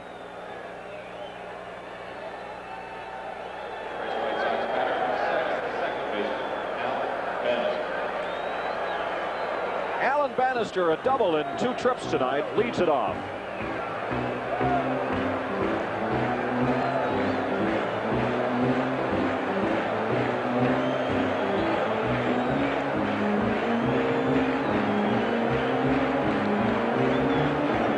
Tonight, disco demolition, but some of the fans getting a little antsy throwing these disco records out.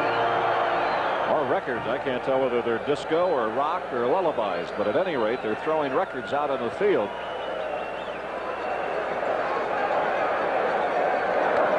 Slowing up the entire process here as Bannister takes a strike. This is the first game of a doubleheader. Tigers have been very successful in doubleheaders this year. They've swept two. Well, I can't say very successful. Manny fouls it off, and they've been swept three times. White Sox have not won a doubleheader. They've been swept twice. And they have split a twin bill.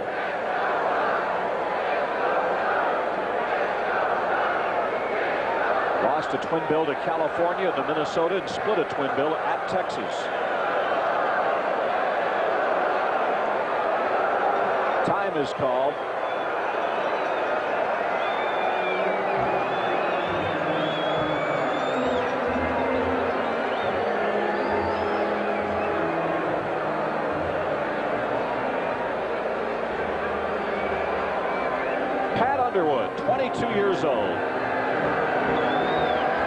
Footer, 175 pounder. I would imagine his folks from Kokomo are up here watching him tonight. They were guests of the Toronto Ball Club when he went to Toronto and pitched against his brother and beat him one to nothing in his major league debut. Bob Finnegan advising the crowd to refrain from throwing records out will be ejected and the huge majority applauds that decision. This rule has no other purpose but the safety of everyone in this ballpark. The White Sox and all of us are very glad to have everybody here. Please don't destroy the fun of the evening for people or cause injury and get yourself arrested and taken from the park. Please don't do that. Thank you.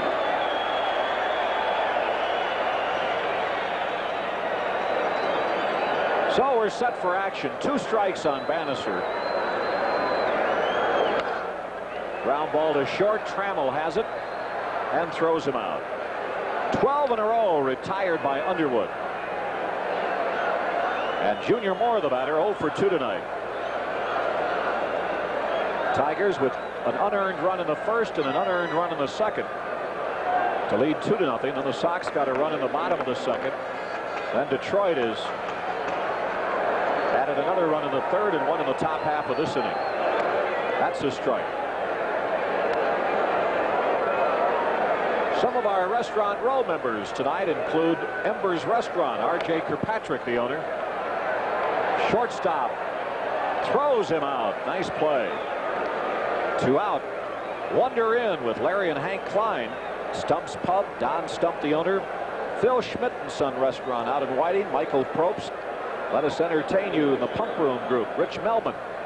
Choir Boys Tap with James Schmidt. And Faces, Jim Rittenberg.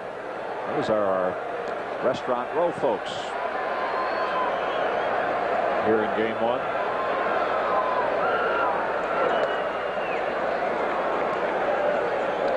I'd say well over 30,000 here tonight. Chet 0 for 2. He is lined out and grounded out.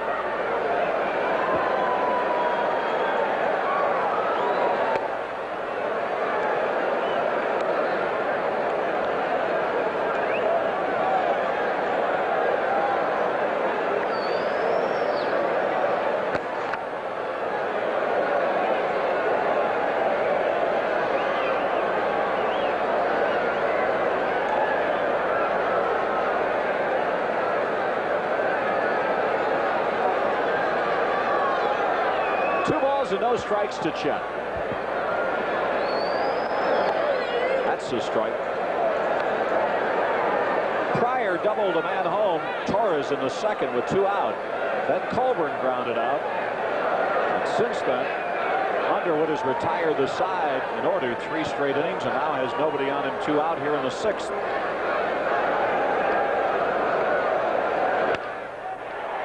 That snaps the string. Trammell making a fine effort.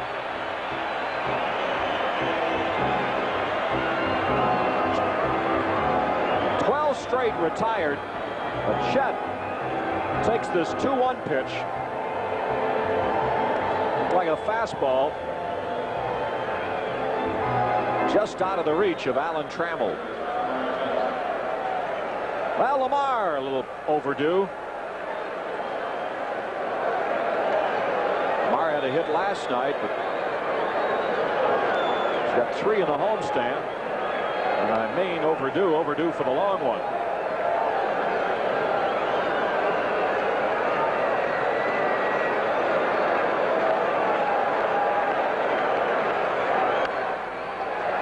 Foul to the right side. Toronto leading Milwaukee two to nothing at the end of two. Montreal has jumped out in front of the Giants one to nothing. At the end of two, and the Dodgers did not score in the first at New York.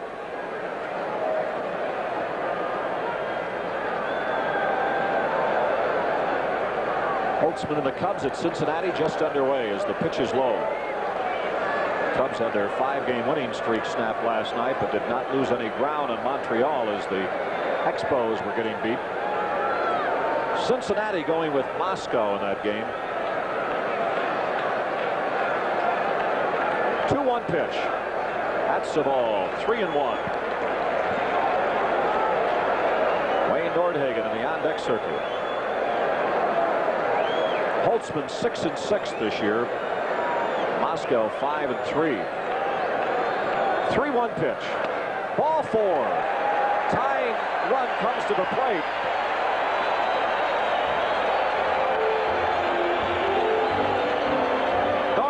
Drove Morales back to the picnic area wall out left his last time up.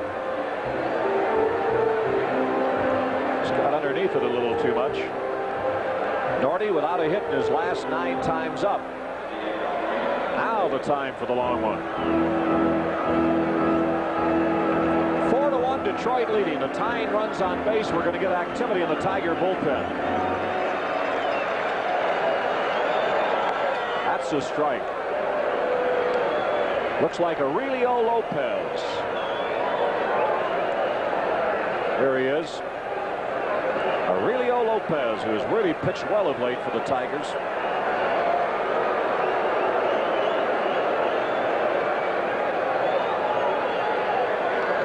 That's the ball, one and one.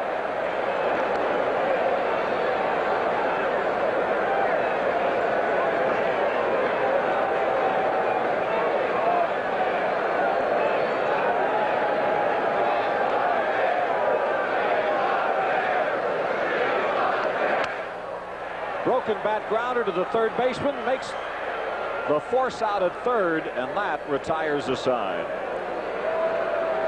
No runs, one hit, and two men left on. We're through six innings of play. I'm Lorn Brown. Harry Caray will be along in a minute. It's Detroit 4, the White Sox 1.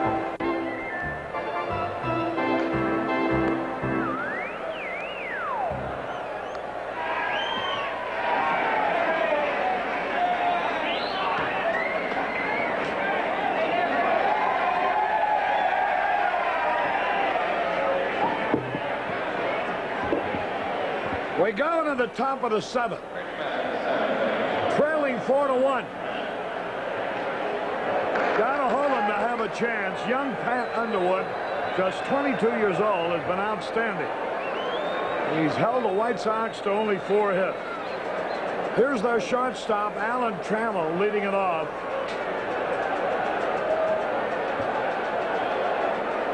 This is Disco Demolition Night.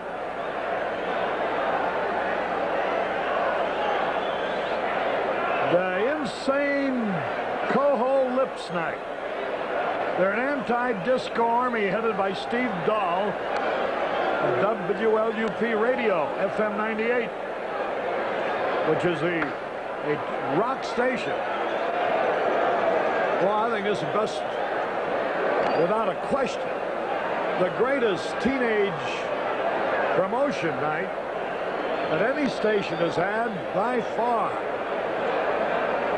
They've got this ballpark absolutely jammed. People in the aisles trying to locate seats. Mike Torcha will give me an idea how jammed these aisles are. Trammell hits a fly ball to center. That'll be an easy out. Lemon is there, and he takes it. One away. Let's see if we can pick up the traffic jam in the aisles. That's the story right now. Look at the people. They're looking for their seats. That's how crowded it is. Here now is round the floor. Ed Farmer came in in relief and got a double play to end the sixth.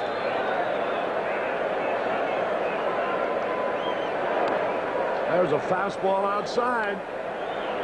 Well, the last couple of nights, our seventh inning has turned the ball game around. Maybe we'll do it again tonight.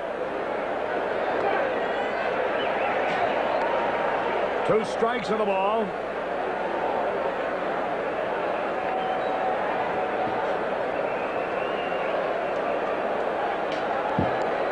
Bounces in front of the plate.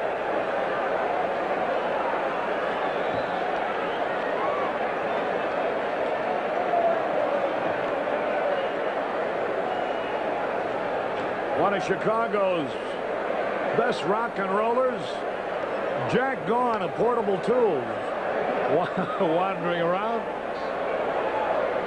drinking a cold winter 18.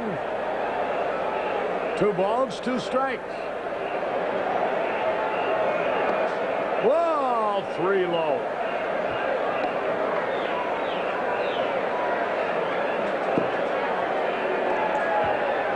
Boy, we're going to have a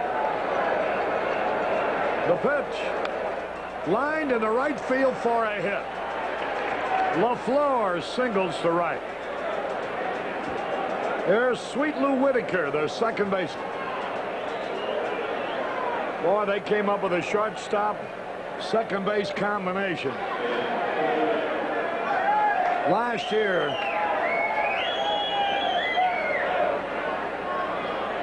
they won't be 22 until the end of the season. Trammell at short, Whitaker at second. And they can do it all. Great arms, fast, good fielders, good hitters. There you see Lou Whitaker. One out, one on.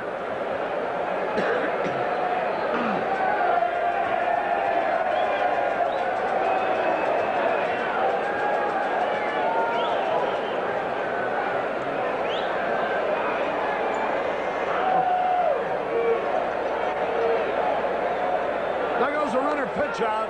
There's a throw. Still beat his throw. On a pitch out. And I'll tell you why they're stealing on Colbern. He is just taking too long to release the ball.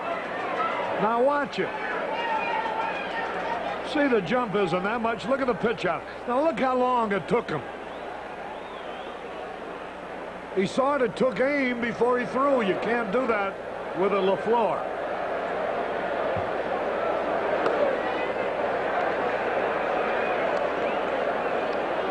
Dick Davis just hit a homer with two on for Milwaukee. They've taken the lead at Toronto 3 to 2. There's a strike. Two strikes in the ball, one out, LeFlore. Just swiped his 46th base of the year. He's on the American League All-Star team.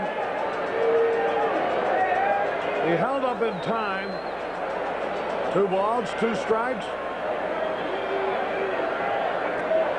Four to one Detroit.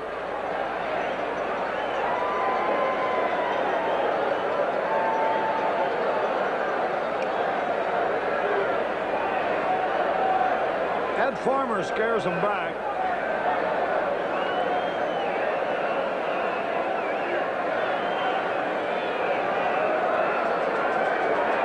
The pitch. Right to the shortstop. Pryor holds the runner at second, throws to first. Two gone. Here's Rusty Staub. Veteran outfielder is the designated hitter tonight. He has scored a run. He has walked. He got a base hit. He struck out.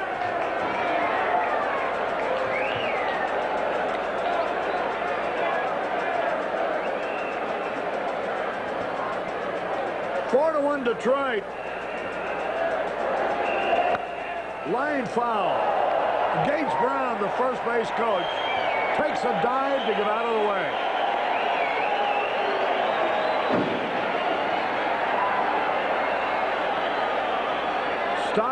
In with Houston in 1963. So he's been around 17 years. He got a $100,000 bonus to sign originally as a 17-year-old kid out of New Orleans. That was back in 1962.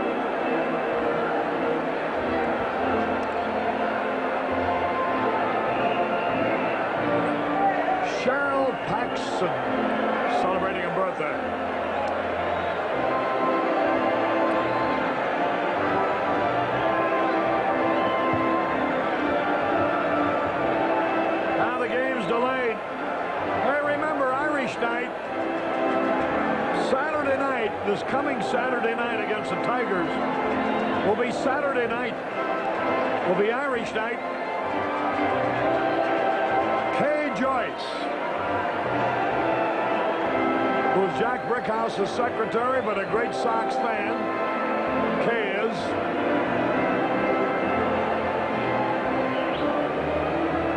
Tiger Lions, Jack Gaughan, Emmett O'Neill, Jack here, I hope. And later on, uh, in August, they're going to have Irish Family Day at the Navy Pier. Here's the pitch to stop. Low. A ball and a strike. Two out. We're in the top of the seventh. Swings and an off-speed curve, and he missed. Ed Farmer in relief. Howard pitched five and a third innings. Two strikes and a ball. Ground ball to the second baseman. Bannister has it. No runs, one hit, no errors, one left to go in the bottom of the seventh. Detroit four, the White Sox one.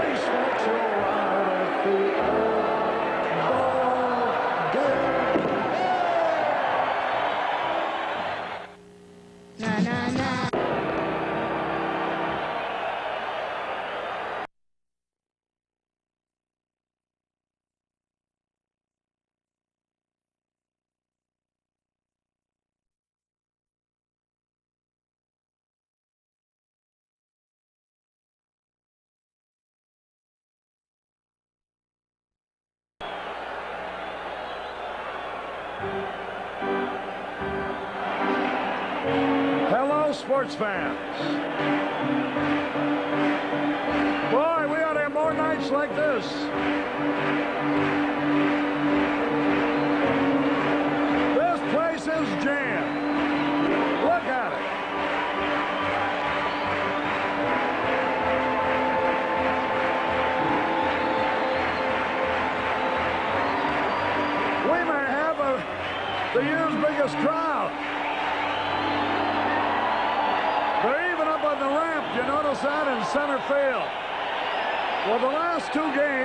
Sox have won with rallies in the bottom of the seventh. Can they do it again? They got a winning streak of four in a row.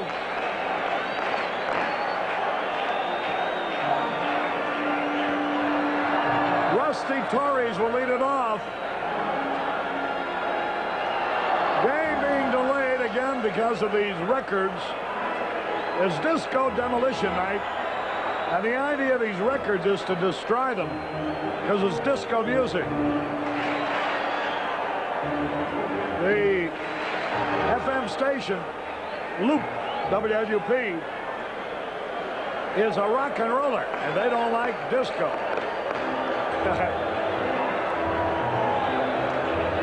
Boy, I can't get over these aisles, how jammed they are. Even upstairs. There must not be any seats left.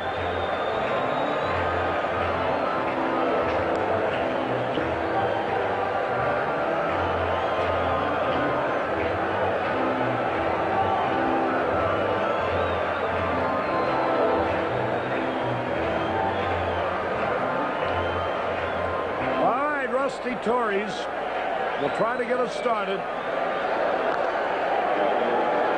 hot, muggy night in Chicago. Underwood's first pitch in there a beauty. This kid from Evansville, Indiana. Actually, born and raised in Kokomo, Indiana, but he pitched at Evansville.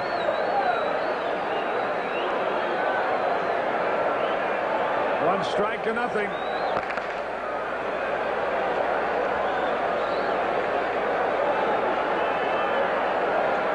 Pitch on the way. High pop foul back. Into the stands, a souvenir.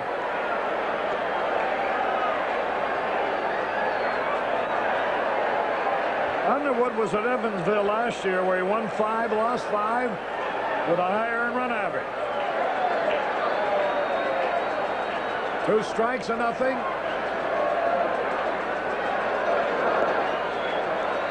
Fastball a little bit low.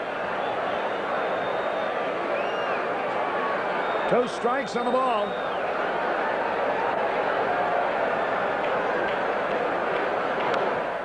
High, lazy fly ball should be caught. And Champ Summers grabs it. One away, here's Jim Morrison, the third baseman. He has fanned twice against Underwood.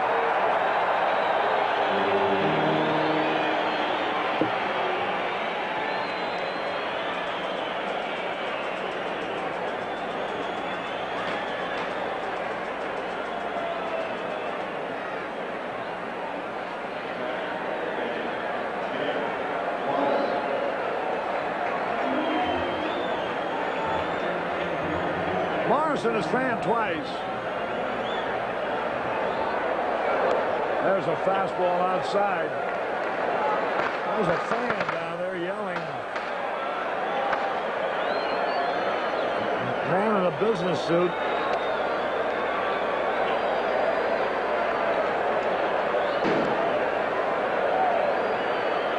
I know he is. Looks like he's trying to get the umpire's attention. Two balls, no strikes on Morrison. Right down the middle of fastball. Two balls and a strike.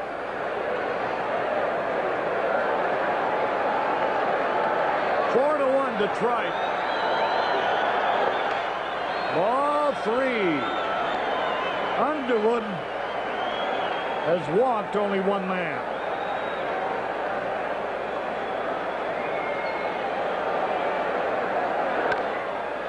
Bouncing ball, nice play by Brookens, easy out. Morrison with three and one was swinging and bounced out. Two up, two down. Here's Pryor, who doubled in the only run we have.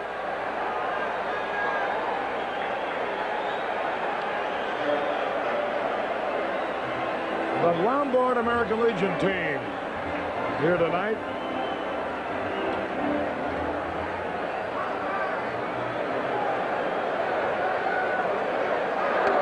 Good fastball right in. Boy, this kid changes speeds. Has good control of everything. See, he let up off this fastball that time. Funny thing is, minor league record has never been so impressive. He won five, lost five last year. Popped it up. The catcher Parrish is there. Easy out. One, two, three, nothing across. At the end of seven, Detroit four, the White Sox one. Harry Caray back in the ballpark. Boy, it's going to be a wild scene out there in the center field bleachers. Up on the board, they say farewell and good luck, Brian Hewitt. Brian Hewitt, the fine young sports writer of the Chicago Sun-Times. Apparently will switch assignments after the All-Star break, picking up the Cubs for the second half after covering the White Sox for the first half. As is the custom of that of the newspapers. I think Holtzman will join us. Holtzman.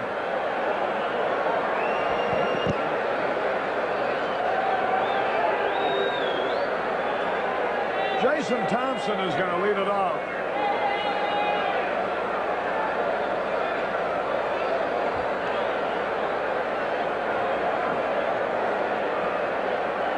Ed Farmer has done a great job in relief. Throws a fastball in there, a beauty.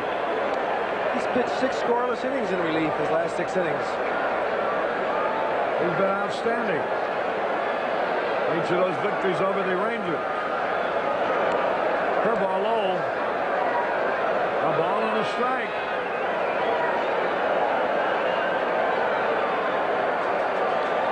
It'll be Ken Kravec going for the White Sox in the second game. Slider over the inside corner. Two strikes and a ball. Nobody on, nobody out. Jimmy will have Bill Gleason of the Sun-Times, popular sports columnist. At halftime. Between games. Got the wrong sport. Curve inside. Two balls, two strikes.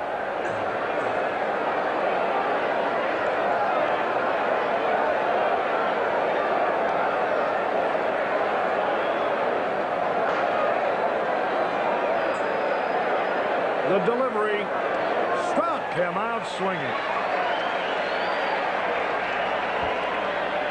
Three ties for Thompson tonight. He's just not having a good year for him. There's Champ Summers, who is. He's two out of three tonight. He worked on that Nautilus all winter, and they tell me that he doesn't even move around the bag as good as he used to. He's got himself a little bit too muscle bound. So you got to know what you're doing when you get involved with that knot Nautilus. One out, nobody on. Curveball a little bit low, ball one. First game of the doubleheader. We're in the top of the eighth. How'd you build up your shoulders, Harry? I built mine up with unloading freight cars for a silver factory.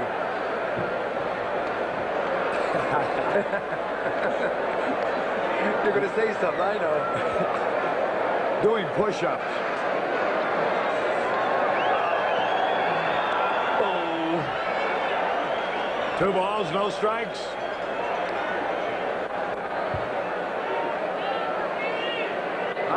Much attention they're paying to the ball game out there in center field, but they seem to be having a lot of fun, whatever they're doing. Tell you, three quarters of these people here tonight have never been in this park before. They're looking for where the pigeons sit. They're looking for Harry. One out, nobody on. Ball four, he walked him. Summers has been on base three times in a row after he lined hard to left in the first. He singled to set up their second run, and he singled and later scored their fourth run. Now he has walked with one out. One on, one out. Boy, I wish I'd have thought about it. Tonight would have been a great time to be broadcasting out of the center field bleachers. I would have never saw you again. It would have been the last time I've ever seen you. You'd have coughed your way home. Well, the only thing about it, they, they smoke too many cigarettes out there, those guys. I said that you cough your way home. In fact, I can't see out there right now. There's a throw to first and run back. Look at them in the aisles, Harry. Look at them. You keep talking before. Look at them. They can't find seats all over. You know what they do? I guess they get in for 98 cents and a broken record or something. Is that how it works? Yeah. What What is Detroit share? Do they get 20% out of the 98 cents? I don't know.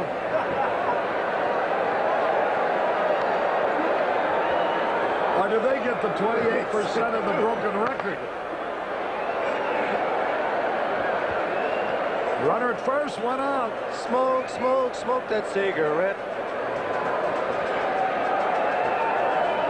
Are a lot of guys stoned out here tonight. I, I don't know whether it's the beer or what they're doing. There's a ground ball headed for right field. Bannister can't reach it. A man going to third. Morales gets his third hit. I'll tell you one thing. Bandy guards second base so well that if all you do is just throw it, you can throw it through there. He, he, that ball wasn't even hit good at all if you see in a replay. He just hit it off the end of the bat. You, you got to cut that in half. Watch this now. Watch. It's just a little slow roll. Look at it bouncing. Bum, bum, bum, bum, bum, beep, beep. But that's okay, Harry. We'll get him. Runners in first and third. Boy, look at Farmer. He's not too happy with that either. He, Farmer's the type of guy that when he makes a good pitch, he don't like to see something get a base hit for it. I wish you could have watched Bobby Richardson. You've seen many great second basemen. Look at Farmer walking out. He is angry. Oh, yeah, he's not happy about that. I see those balls have got to be caught. Let's let's face it. When they wake up around here and play players where they belong and stop looking for that miracle again, you know, it's not going to happen. You know, Kessinger's got to play right now. If, you know, he, he plays second or short wherever he wants to play. Let Banny maybe play left field or somewhere. Now Farmer's walking out again. Well, I'll tell you. Oh boy, look at that one just missed Gates. That that one just missed Gates. Boy, that's very dangerous. They'll have to call that second game they keep that up. They're throwing out these records now. Should make some more announcements. Look at them way out there, big ones. Boy, and, and Torres put his hand on his head. Runners at first and third, one out. Infield back, hoping for the double play. Strike on the outside corner. One strike to nothing. Scarbery warming up in the bullpen for the White Sox.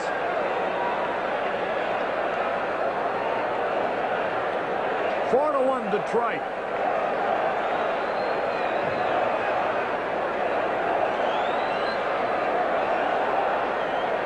There goes the runner. Fouled out of play. They're going to run us. Hey, great catch. By a fans stripped to the waist. Sitting in the upper deck. Tell you one thing we're seeing under Sparky Anderson. They're doing a lot more running than we ever saw them do before. Right. That's his kind of baseball. Well, see, Parrish strikes out a lot, so he wants them to just hit the ball somewhere. Then they'll get the run and no double play. That's smart baseball. Two strikes and nothing. There goes a runner lined. Double play. It's going to be right to Pryor to retire the side. Parrish lined to Pryor for a double play. With Morales going on the pitch. And all Pryor had to do was throw the ball over to Lamar Johnson. No runs, one hit, no errors, one left. We go to the bottom of the eighth.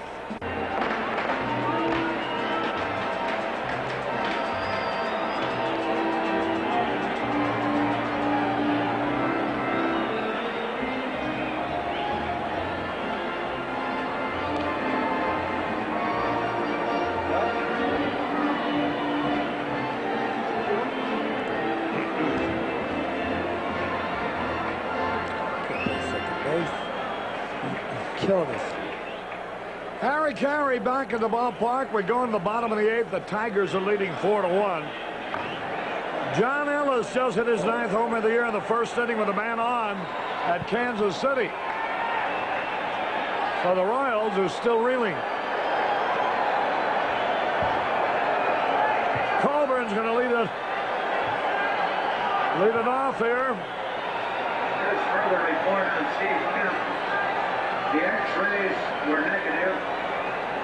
Cleared him for playing if he overcomes the dizziness which he complained of when he incurred Steve Kemp, who was hit over the eye in practice, was taken to Illinois Masonic Hospital for x-rays, which proved negative, and the doctors released him for playing. Soon as he recovers from the dizziness that he was feeling. Milwaukee leading at Toronto 3 to 2 in the fifth. The New York Mets got eight runs in the first inning against the Dodgers. There's a curveball in there, a strike call.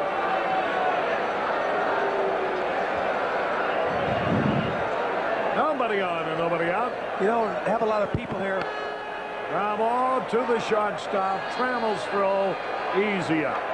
You're really happy to see him, you know, but when you look out there as a player and they start throwing things, boy, it, it makes you say, I wish you stayed home because you hurt somebody. 14 of the 22 outs have either been strikeouts or on the infield. That's how much in command Pat Underwood has been.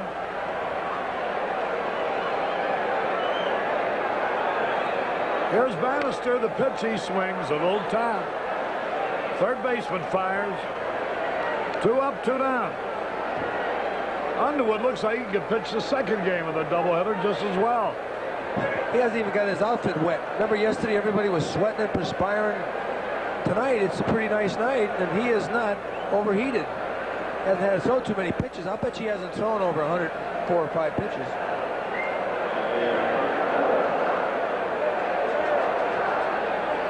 Milt Wilcox, a right-hander, will pitch the second game against Ken Kravec. There's the pitch a little bit low and outside to Junior Moore. Moore is nothing out of three. Bottom of the eighth, four to one. There's a drive and a deep left field, way back, way back. It is up against the wall, extra bases. Moore on his way to second base with a double. Moore double to the left center field wall. And that brings up Chet Lemon now. Activity in the bullpen. Lopez. Lopez. Here you'll see a high breaking ball now, and he just rips it. He got it all. Morales gives it a good try, but it's over his head. It bounces up against the wall, and Moore goes in a second, easy with a double. Maybe we got something going here. Let's go, Chet. Men out. Julio Morales gave that ball a long run, but couldn't reach it. Here's Lemon. He's one out of three. Hit the ball sharply every time. Out of pitch. Started to swing and he held up. One ball, no strikes. Two men are out. Ball game in the eighth. There you see Lopez has been doing a great job in the bullpen. The catcher just refused to catch anymore. He almost got hit with a firecracker, Harry. It went right over his head, and he just refused not to get down there anymore.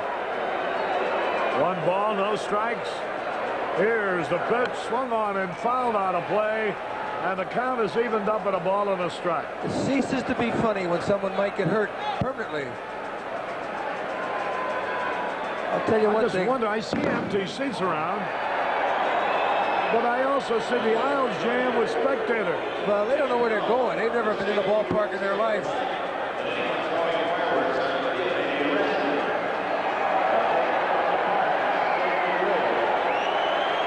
A ball and a strike. What I'm uh, worried about, what's going to happen between games of the doubleheader when there's no action on the field at all. But uh, what the station doing, uh, whose promotion it is, will be entertaining between games. Well, I'll tell you one thing. This Sparky Anderson just came out and said something to Dave Phillips, the plate umpire. See what happens too, Harry. If a fly ball goes to the outfield and somebody throws something, all that outfielder has to do is make out it come at him when he wasn't even going to catch it. It's an out. But they don't hear us, and they're having a ball, and they're in another world right now. The world of no Junior return. Moore in scoring position, two out. Chet Lemon waiting. Lamar Johnson is next.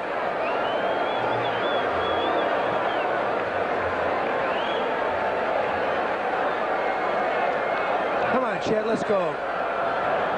The birds are starting to look like records. A ball and a strike. Curveball low. Manny Trillo hit a home run to man on for the Phillies to tie up San Diego 2-2. Texas got three in the first at Kansas City. Two balls and a strike. The pitch, here it is. Curveball low. Does that kiss feel familiar? Dutchie. Dutchie, you stay right up here. I don't want you to go down there. The world is different.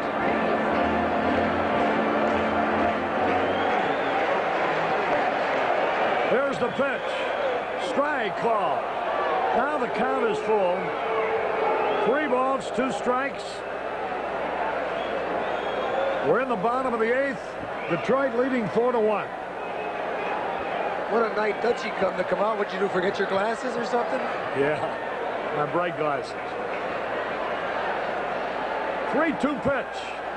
The Hegewisch Rockers are here.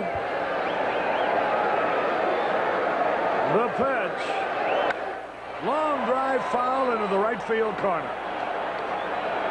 The count is full on Chet Lemon. Two out. A man in scoring position. We're in the eighth. Detroit leading in the first game of the doubleheader 4 to 1.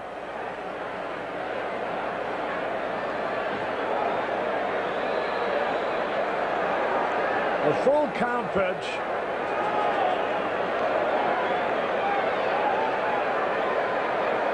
Ball four. The tying run will be at the plate. Maybe Lamar can get hold of one. Aurelio, Lopez warming up. He's been pitching a lot for him lately, Lopez. Sparky Anderson coming out, and that's going to be all for Pat Underwood. We'll tell you about the new pitcher following this. When it's raining outside, does water force its way inside through cracks in your... Harry Caray back in the ballpark. We have a new pitcher, Jimmy, a stocky right-hander, has been doing a great job for him. He's making his 27th appearance, and he's been working an awful lot lately. He's 4 and 2 with an ERA of 3.07. As Harry said, he's six feet tall. He says he's six, 200 pounds, but he's about 230.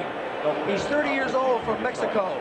Last year with Springfield, AAA, he was 6 and 6. He went to the Cardinals where he was 4 and 2. Lopez has four saves, pitched 58 two-third innings, given up 57 hits, 21 runs, 20 of them earned. They hit six home runs off him. He's allowed 24 base on balls. He struck out 45. He sidearm, slider, turns it over, sinker. Not overpowering, but a live fastball in his sinker is awfully tough to hit if you try to pull it. So Lamar now with a chance to tie it up with two outs here in the bottom of the eighth steps in. Tommy and George Gallio, sons of Jimmy, celebrating birthdays today. Lamar Johnson, who could tie it up. He's been an easy out twice and walked. Fouled it off. Strike one. Dick Tracewski ducked for cover in the Tiger dugout. So did Brinkman.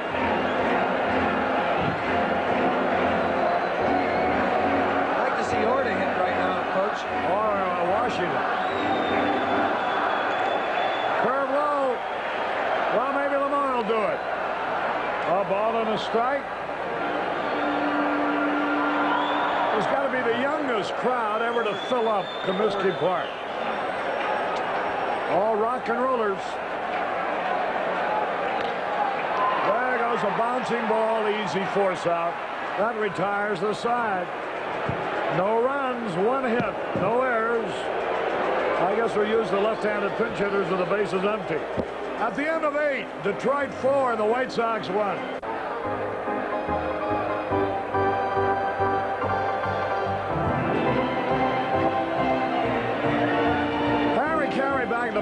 We're going to the top of the ninth. It's four to one. The White Sox had a shot that time. But Sparky Anderson brought in his right-handed relief pitcher, Aurelio Lopez. The White Sox have had all their right-handed hitters in the lineup because Pat Underwood, who pitched the first seven and two-thirds innings, was a southpaw. They went along with Lamar, who unfortunately bounced out. Well, maybe they can still get something going in the ninth. Here we go with Tom Brookens. First pitch he hits down to Morrison. Nice play. He's out. Boy, I hope we don't waste this beautiful job by Ed Farmer. Farmer's been outstanding. Came in and got a double play to end the sixth inning. So this will be three and two-thirds innings of relief. He's allowed only two hits and no runs.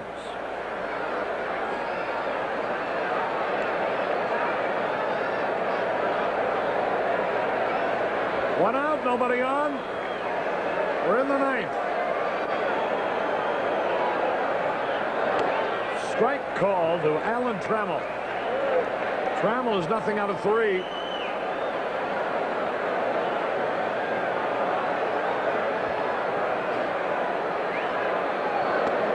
There's a fastball to the inside. A ball and a strike. The Mets are leading the Dodgers 8 to nothing in the second.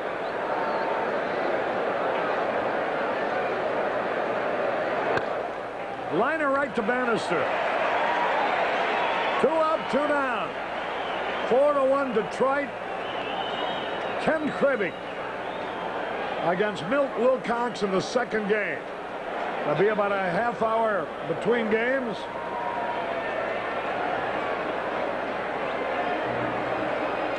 There's Ron LeFlore.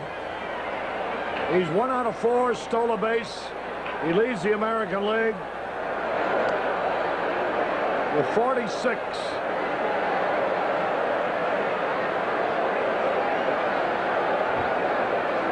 Two men out. Ball too low. Game tomorrow night. We'll be with you on Channel 44 as well as on WMAQ Radio at 7.15 tomorrow night and again Sunday night and also at 1 o'clock rather tomorrow night and Saturday night and then at 1 o'clock Sunday afternoon and then we'll have a three-day break for the All-Star game. Getting back in action in Texas following Thursday night. Line drive, right field, base hit. Watch how long it's going to take LeFlore to try to steal second.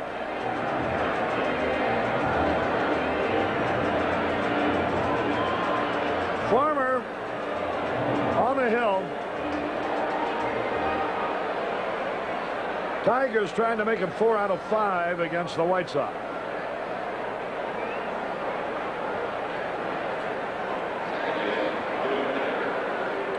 There's Lou Whitaker. Another one of those records comes sailing out on the field.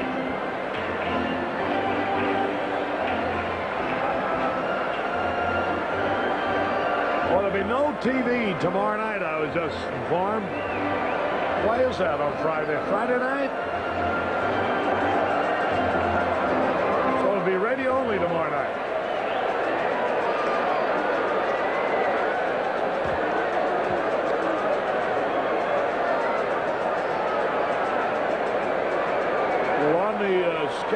TV.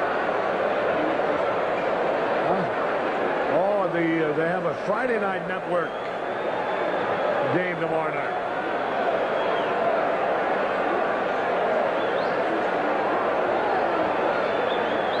There goes LeFlore. There's the play. Easily safe. Number 47 for LeFlore.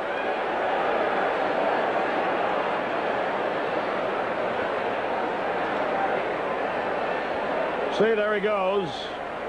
Now the throw is high. LeFlore was had already finished his slide.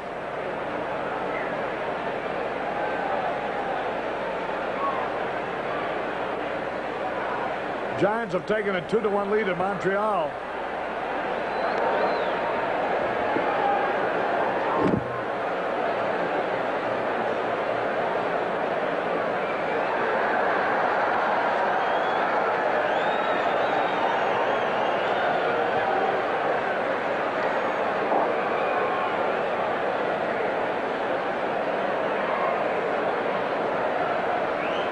Two balls, no strikes. Line drive to left field. Junior Moore is there. Makes the catch to retire the side. No runs, one hit, no errors, one left to find. Relief job by Farmer. We go in the bottom of the ninth. Detroit four, White Sox one. Harry Caray back at the ballpark. Now, with the bases empty here in the ninth inning, George Orta comes up to pinch hit. George. Boy, there's a million banners here. You know, they could just keep from throwing those records on the field. It'd be just a tremendous promotion. Orta hitting 228.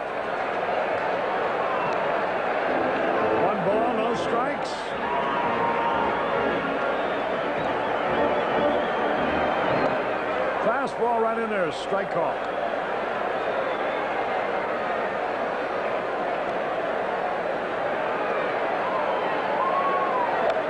High pump foul, going to be an easy out.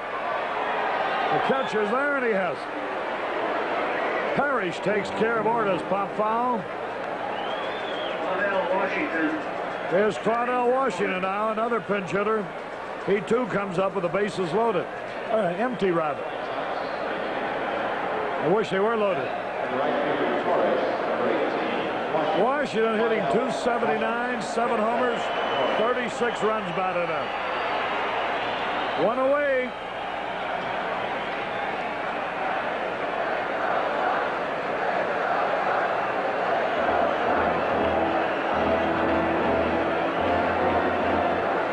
This Lopez is just only since Sparky Anderson took over has he been used in game situations. And he has done an outstanding job. He's won four, he's saved four with an earned run average of 3.07.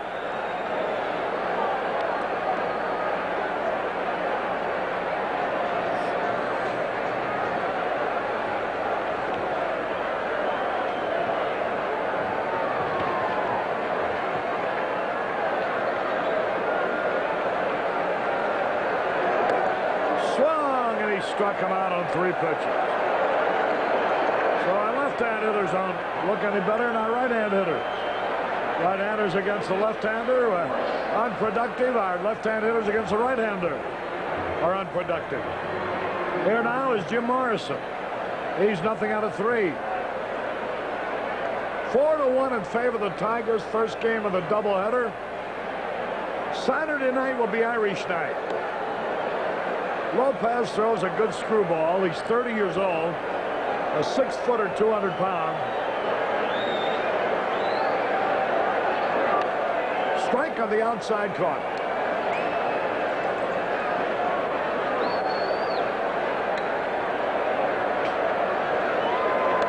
Fouled it back. And the Tigers are now within one strike of a victory.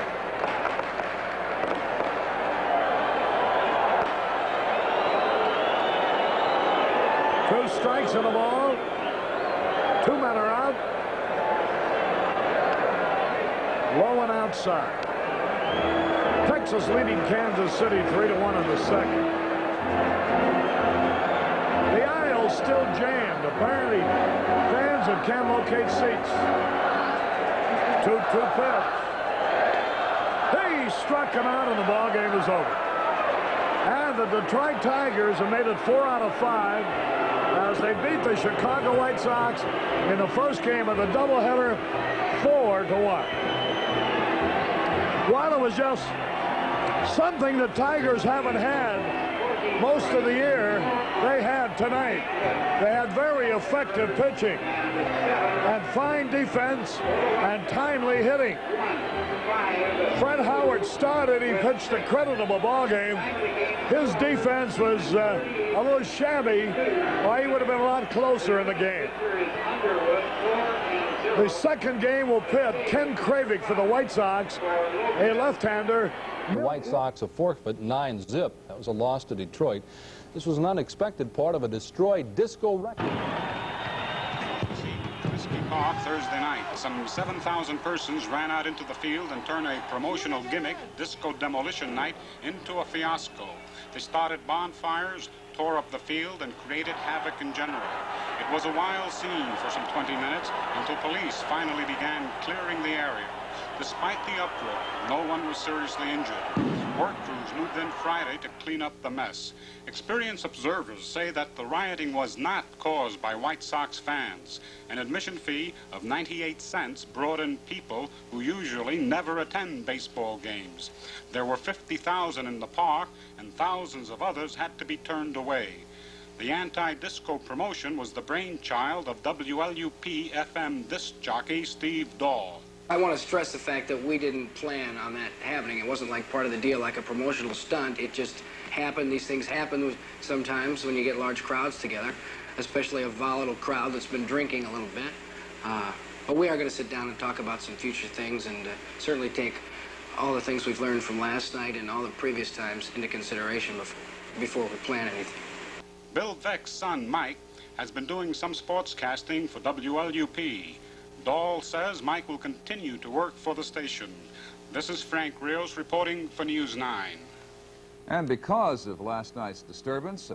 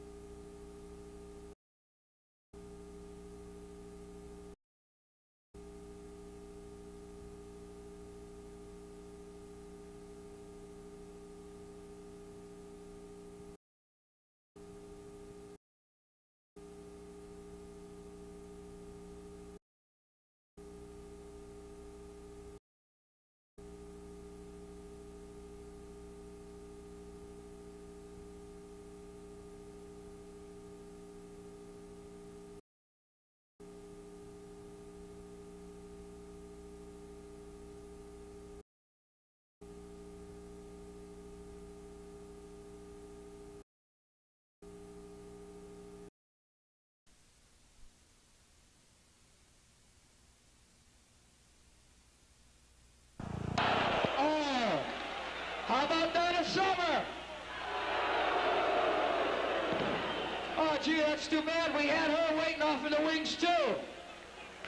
How about the Bee Gees? Oh, I see. Okay. Well, listen, we took all the disco records that you brought tonight. We got them in a giant box, and we're going to blow them up real good.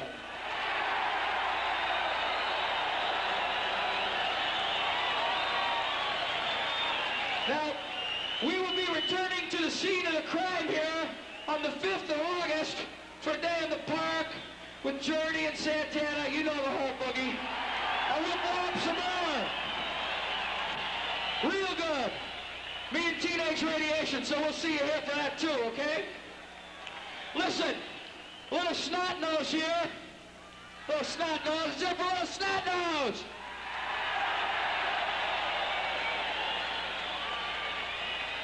Ah, shucks, he's embarrassed.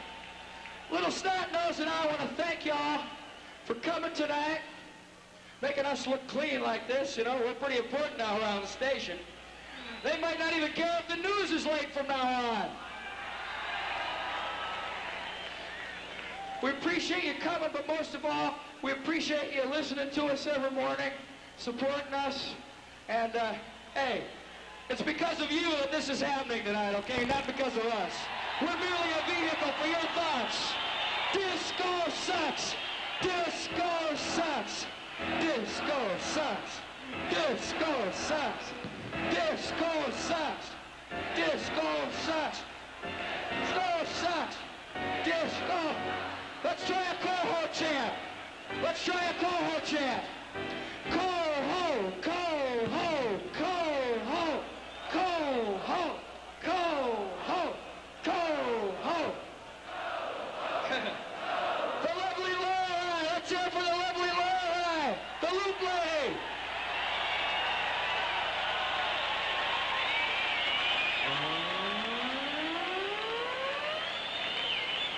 Okay, listen. I'm going to go blow up the records real good. If uh, things work out right here, we'll come back. Now, we already had one national anthem tonight, but that's not the one we want to hear. We want to hear the Insane Coho Lips national anthem. Boogie, do you think on disco? Here's a little snap nose to give you the play-by-play on the blow-up. Okay, let's usher Steve down to the explosives with a loud disco sucks chant. Disco sucks. Disco sucks. Disco sucks. Disco sucks. Disco sucks. Disco sucks. Disco sucks. Disco sucks. Disco sucks. Disco sucks. Disco sucks. Disco sucks. Disco sucks.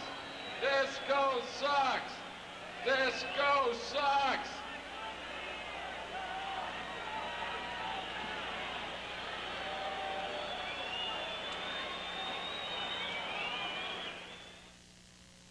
into an anti-disco frenzy here.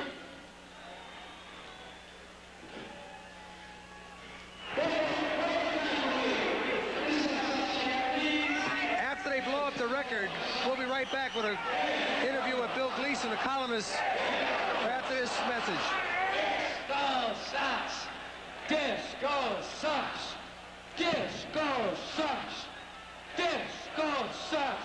And we're never going to let them forget it. They're not going to shove it down our throats. We rock and rollers will resist, and we will triumph. All right, you ready? We're going to count to three and then go boom. And they're going to blow up real good. I'm telling you, it's going to be hot. One, two, three,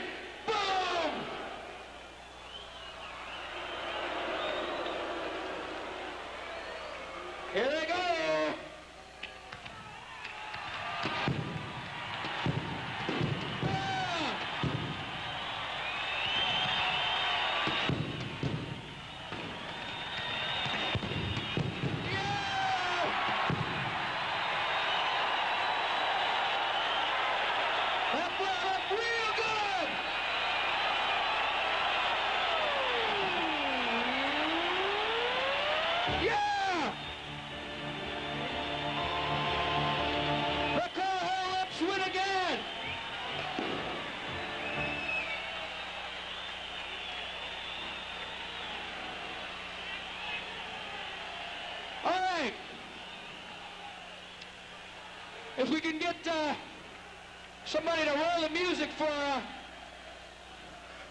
do you think? No, I'll tell you what. I'm going to sing it without the music. Be a little snot nose. And we need. Now listen. Now we need your help. We need your help with the national anthem. You got to give us a. a you got to give us a disco backbeat. Okay? Now this is the only time I authorize you doing it, but it's for a good cause. The backbeat goes like this. Oh, he's got the music ready. Okay, well, go ahead and roll the music then. And you can backbeat. It goes ooch, ooch, ooch, ooch. That's a disco backbeat. Ah, yes.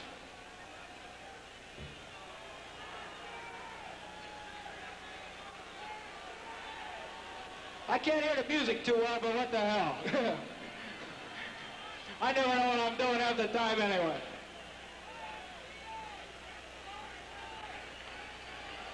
I wear tight pants. I always stuff a sock in. It always makes the ladies start to talk in. My shirt is open. I never use the buttons. Though I look hip, I work for E.F. Hutton Snotnose. Do you think I'm disco? Cause I spent so much time blow drying out my hair. You like it? Do you think I'm disco? Cause I know the dance steps. Learn them all at Fred Astaire.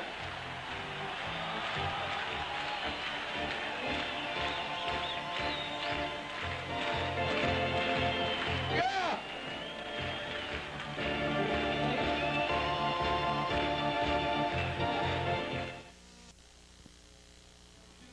think I'm disco Cause I know the dance steps Learned them all at Fred Astaire Hey, where you going? What, do you have to get up early and go to work tomorrow? What do you mean you don't have a job? Let me have your phone number. You don't have a phone? Let me have your address. I'll come by and visit you. What do you mean you don't have an address? What's going on around here? Some people call me scum. Cause I don't have a realistic set of values. And I'm beginning to maybe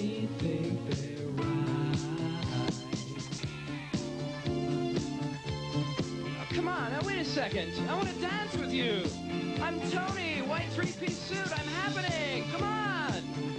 What's the deal here? I never meet any women at these places. And you're supposed to. It says so in all the magazines. I love to dance with girls in sleazy dresses, lipstick, nail charms, and makeup in excesses. Buy them a drink and try and get their number. Usually they are as cold as a cucumber. Do you think I'm disco? Am I superficial? Looking hips my only goal. Do you think I'm disco? Maybe it's not too late to get into rock and roll. Rock and roll! Now, this disco thing isn't happening. That's a bummer, though. I spent all the, all that money on this suit, on this jewelry. I've got the most expensive blow dryer on the market today.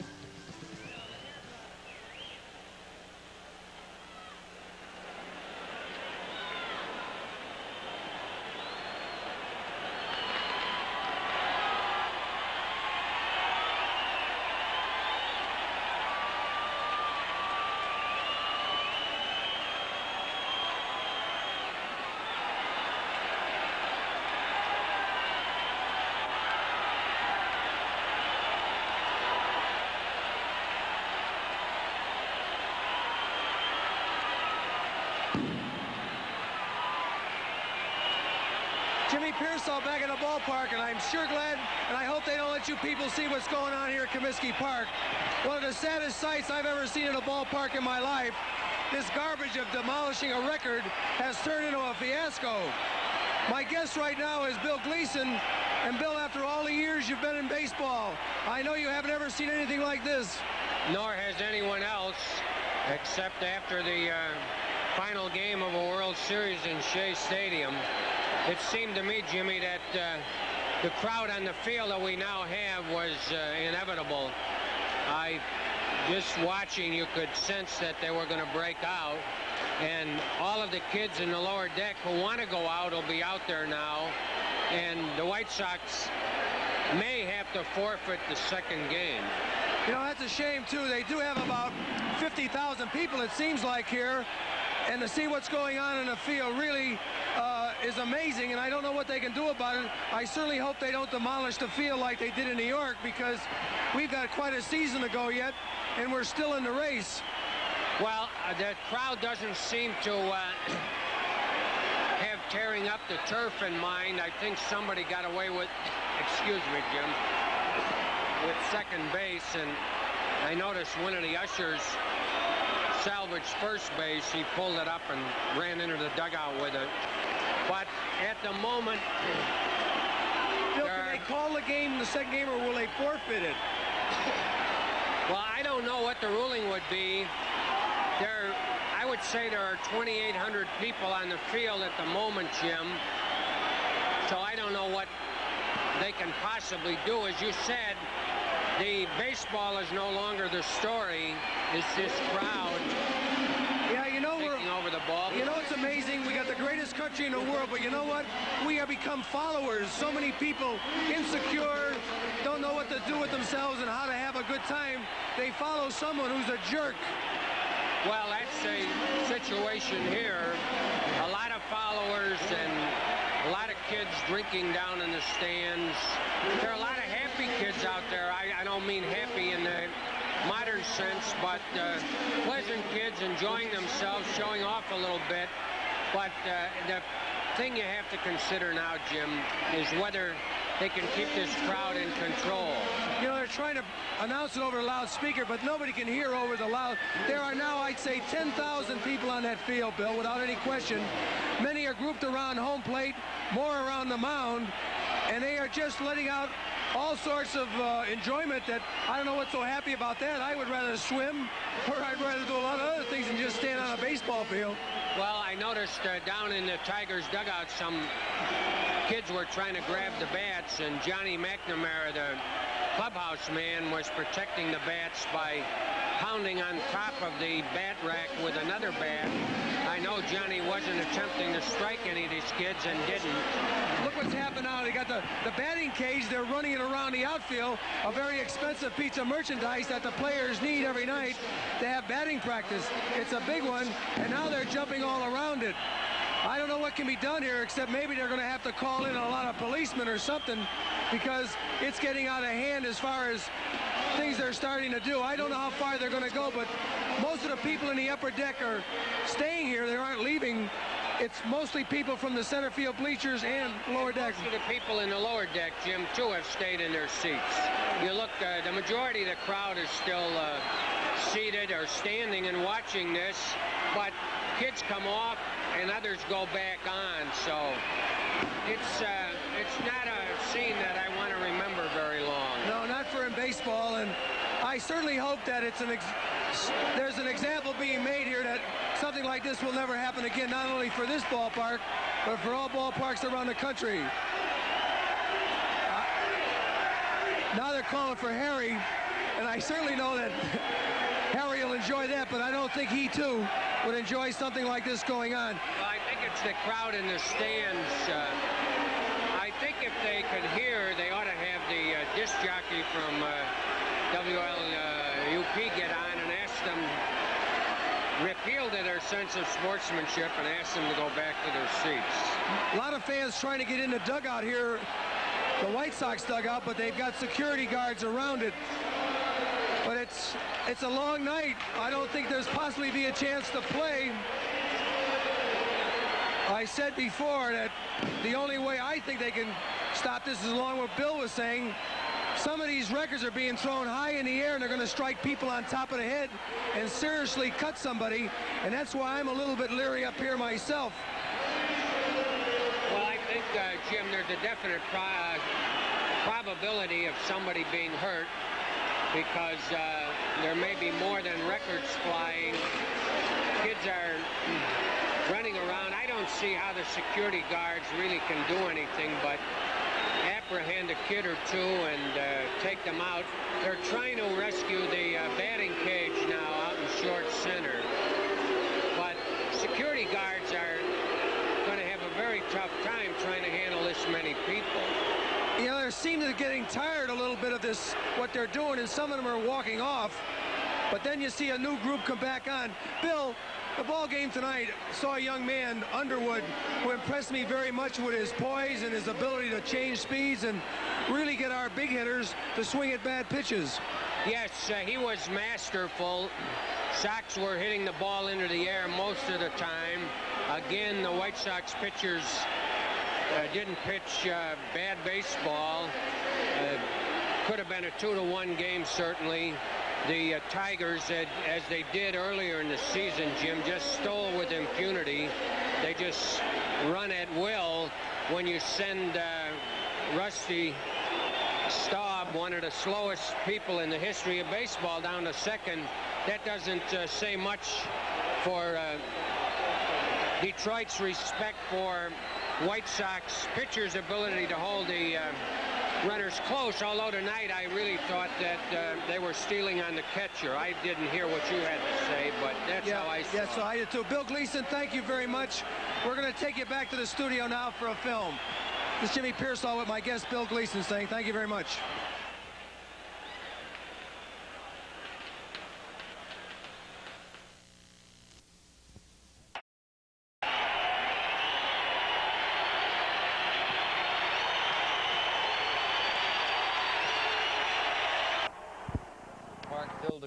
Capacity has never seen anything like it. Thousands of young people worked up by a named Steve Dahl. His anti-disco night, it got out of hand. The White Sox promotion obviously backfired when the fans, the young ones, took the demonstration much too seriously, spilled out of their seats, mobbing the field, as you can see. The game delayed over two hours. And police have actually set up barricades now to keep people out of the area of the stadium. Rosemarie Gully is there with a live report. Rosemarie is not there with a live report. As you can imagine, the scene outside the stadium, as you saw inside, is very chaotic, and uh, it is our policy not to add to the situation. Terry, uh, I know you were about to uh, introduce uh, Al Lerner, who was there when the action started. May I do the honor since we don't have Rosemarie? Tell us what happened, Al. Well, very simply, Joel, as you say, a, a disco promotion. This is anti-disco demolition night. The whole idea of this promotion, uh, Steve Dahl on his morning show, blows up disco records. Tonight at Comiskey Park, in, a, in with the White Sox, a dual promotion to blow up thousands of disco records. The idea was for 98 cents, anybody can get into the uh, to the ballpark for 98 cents, and a disco uh, and a disco record brought 50,000 people. I believe that Rosemary uh, Gully is ready out in the field, and if we can go to Rosemary, we'll go to her right now for her report. I'm ready to go. You know, it was a combination of a lot of things out here, and it's called You Can Blame It on the Disco, because a local rock radio station had a promotion out here tonight, whereas they wanted to blow up disco. So they distributed records and had a demonstration out on the field. So that, the heat, and a lot of drugs, and uh, just a very unruly crowd presented the problem. I talked to the deputy chief who told me that they knew that this was brewing around 4 o'clock. Anyway, I did talk to some people as they were leaving after the first game. Can we go to that tape?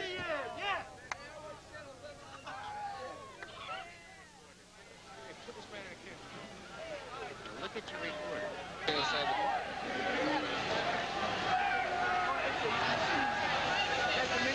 Just started out, you know, everybody was getting ready for it and they got all hyper.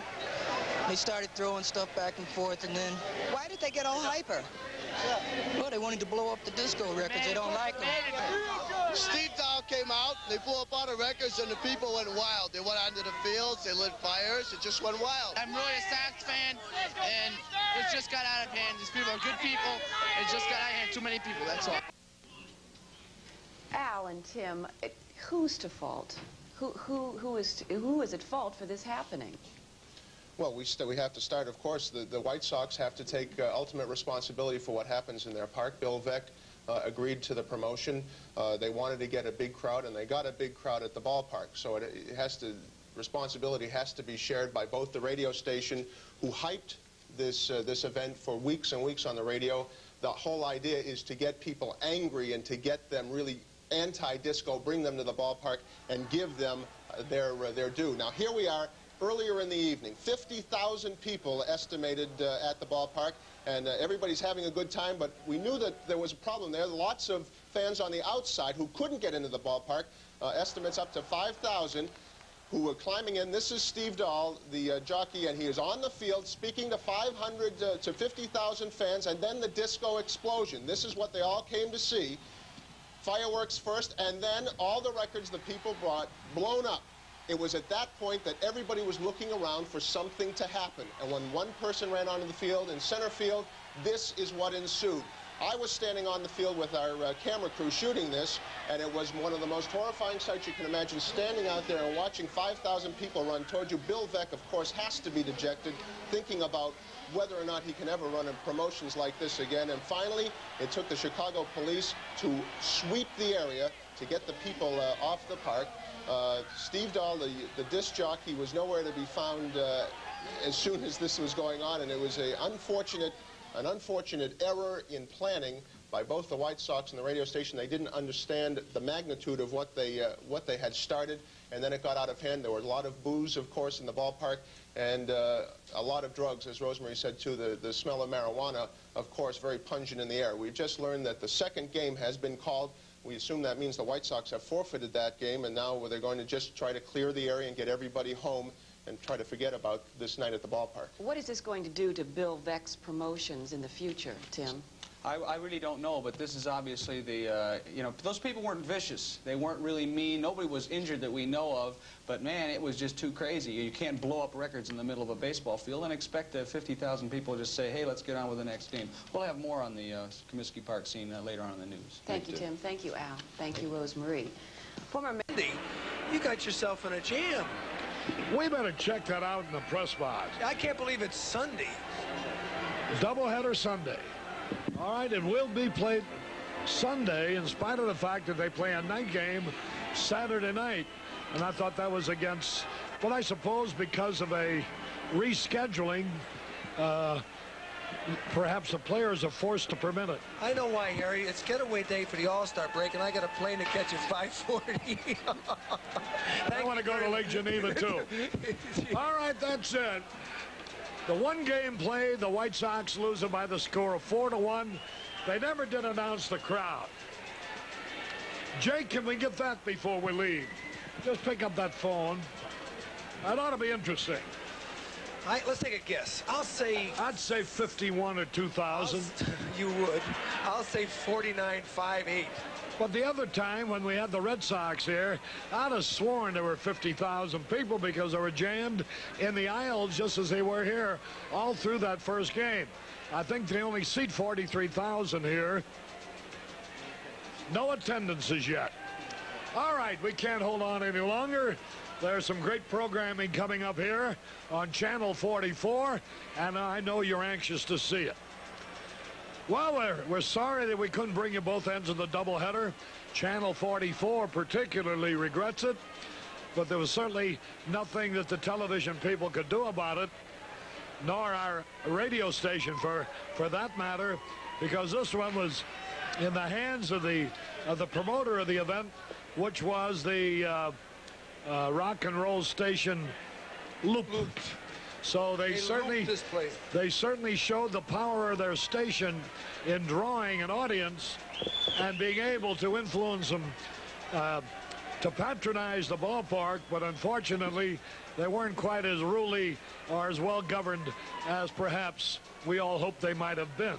So that just about wraps it up now with Jimmy Piersall, Harry Caray wishing you all a very pleasant good evening from Comiskey Park, where an unannounced, very large total of baseball fans saw the White Sox drop the first game of the doubleheader to a very good-looking Detroit Tiger team under Sparky Anderson by the score of 4 to 1 and where they have the second game called necessitating a doubleheader Sunday afternoon. See you Saturday night on Channel 44. So long, everybody. Second game was postponed until Sunday after Detroit won the opener 4-1. The crowd, a full house of approximately 49,000 fans. The first game was all Tigers as Fred Howard lost to Pat Underwood. This triple by Tom Brookens drove home the eventual winning run in the second. The Tigers led 2-0 and went on to win in a breeze by a final of 4-1. Everything was calm before that full house at this point, but as we reported at the top of our newscast, things turned unruly after that. On what was called Disco Demolition Night, a local disc jockey was allowed to blow up a bunch of disco records. That triggered pandemonium as the fans rushed the field, tore down the batting cage, and filled up Comiskey Park so you couldn't even see the grass anymore. This caused the second game to be postponed, as I mentioned, and I think maybe even Bill Veeck learned a lesson tonight. Some gimmicks are sure to backfire. And first run and Tom, or second run, Tom Brookens tripled into the left field corner to make it a two to nothing game. Greg Pryor drove in the only White Sox run of the day with a triple down into the left field corner, and here comes Rusty Torres around to score. But the Tigers went on to win it by a score of four to one, and of course, game two was canceled with all the activities happening out between games. Then on team night, WLUP held a disco demonstration. We'll talk about that a little bit more too. But game two was canceled out there this evening. As we said, uh, between game activities, the main attraction, the disco demolition, spearheaded by morning radio man Steve Dahl and his anti-disco army called the Insane Coho Lips. Earlier, I asked Steve just what he has against disco. Well, the first thing I have against it is that I can never find a white three-piece suit that fits me off the rack. so uh, I hate the taste of pina coladas. I don't, I'm allergic to gold jewelry, so there's nothing there for me. Uh, I'm a cheapskate. I don't like to waste a lot of money at home, you know, in terms of my electrical bill, and you have to spend so much time blow drying your hair. It's a waste of energy. Okay, I'm ecologically meaningful and cheap, so I'm not into it. I'd like to, uh, if I could, show you how we uh, destroy the disco records. And uh, this is how I do it. I have to kind of get worked up a little bit. Psych job. Yeah, I chant to myself, coho lips, coho lips, and then I just Oh, that felt good. Well, worthy as the cause may be, the idea of the game was to blow up disco records in a box out in the middle of center field. That did happen.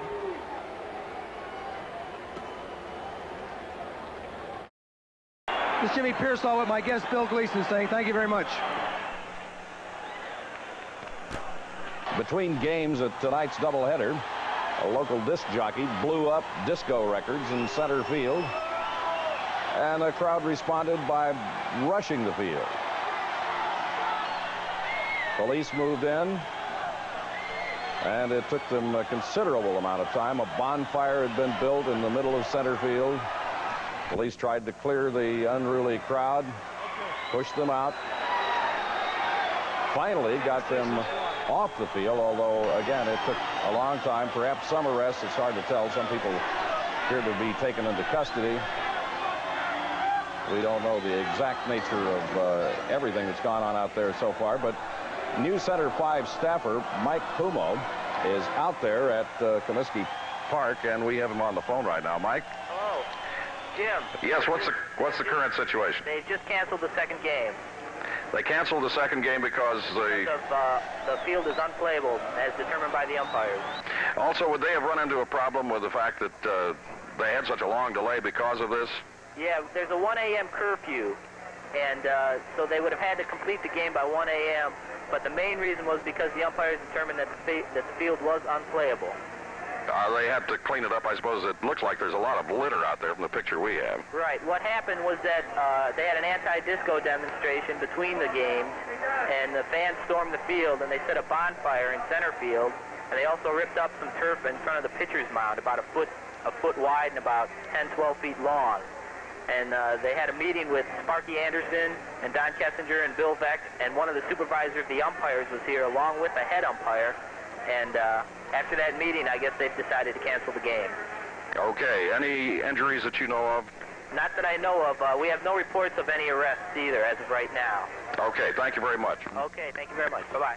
Mike Pumo, who was out there at that White Sox game and uh, saw what you just saw and more, I guess cover that particular story for about yeah. a week and a half now, and the disc jockey involved, Steve Dahl. the guy who was cracking the record yeah, I, you'll see him in a yeah. second. But, you know, he doesn't really plan to have anything like this happen. And, uh, you know, I know he's probably going to catch a lot of flack for it, and it's undeserved. But, you know, we'll talk more about okay. that as the week goes on. A packed house out at Comiskey Park tonight on teen night, and there was more happening, of course, than just the twilight doubleheader scheduled with the Detroit. Activities happening out between games. Then on teen night, WLUP held a disco demonstration. We'll talk about that a little bit more, too. But game two was canceled out there this evening. The main attraction, the disco demolition, spearheaded by morning radio man Steve Dahl and his anti-disco army called the Insane Coho Lips. Earlier, I asked Steve just what he has against disco. Well, the first thing I have against it is that I can never find a white three-piece suit that fits me off the rack. so uh, I hate the taste of pina coladas. I don't, I'm allergic to gold jewelry, so there's nothing there for me. Uh, I'm a cheapskate. I don't like to waste a lot of money at home, you know, in terms of my electrical bill, and you have to spend so much time blow drying your hair. It's a waste of energy. Okay, I'm ecologically meaningful and cheap, so I'm not into it. I'd like to, uh, if I could, show you how we uh, destroy the disco records. And uh, this is how I do it. I have to kind of get worked up a little bit. Psych job. Yeah, I chant to myself, coho lips, coho lips, and then I just Oh, that felt good.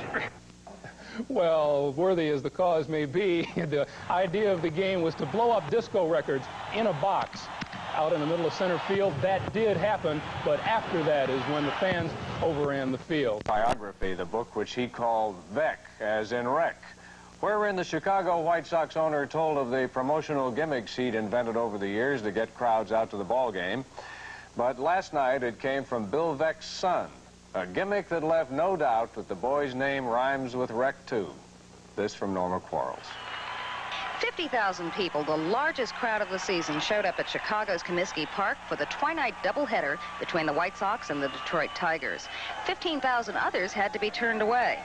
Many had come for Disco Demolition Night, a promotional gimmick. Between games, as planned, a huge box containing thousands of disco records was blown up.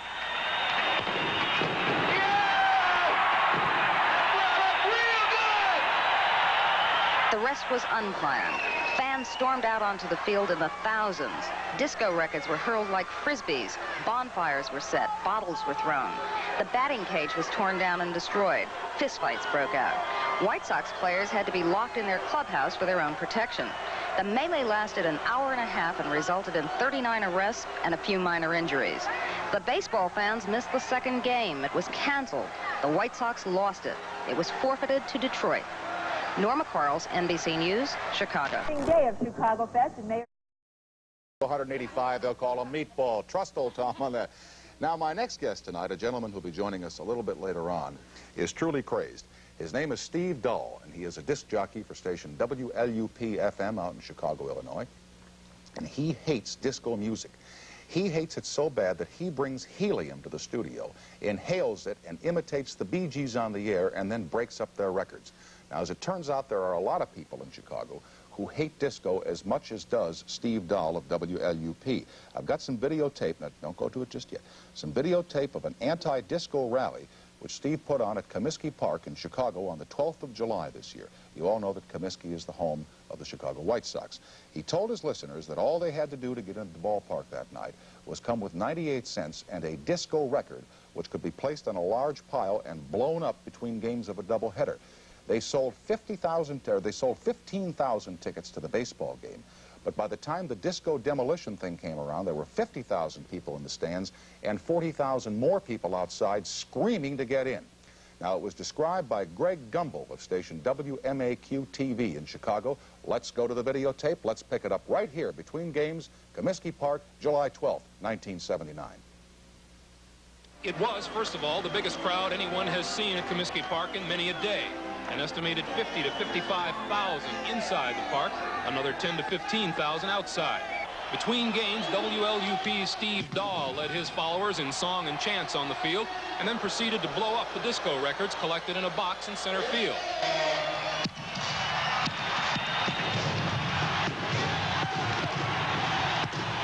Then, the unscheduled event. Some seven to 10,000 fans overran the field, tearing up bases and sod and causing a delay of over an hour and a half. Chicago police finally cleared the field, but too late to save game two of the doubleheader. The field was declared unplayable and the game was canceled. Now, why would they get upset about that? I mean, here in New York, it is not an unusual happening when fans rush out onto the field at Yankee Stadium. They don't go out there to blow up records at Yankee Stadium. They want to take, uh, they want to take uh, Reggie Jackson home with them. That's what they do at Yankee Stadium. In any event, Steve Dahl did not shed any tears over the fact that the Chicago White Sox had to forfeit the game. As he says, they weren't in first place anyway. He'll join us tonight. We have Meatloaf with us and a few more surprises. We'll be right back after these words from our sponsors.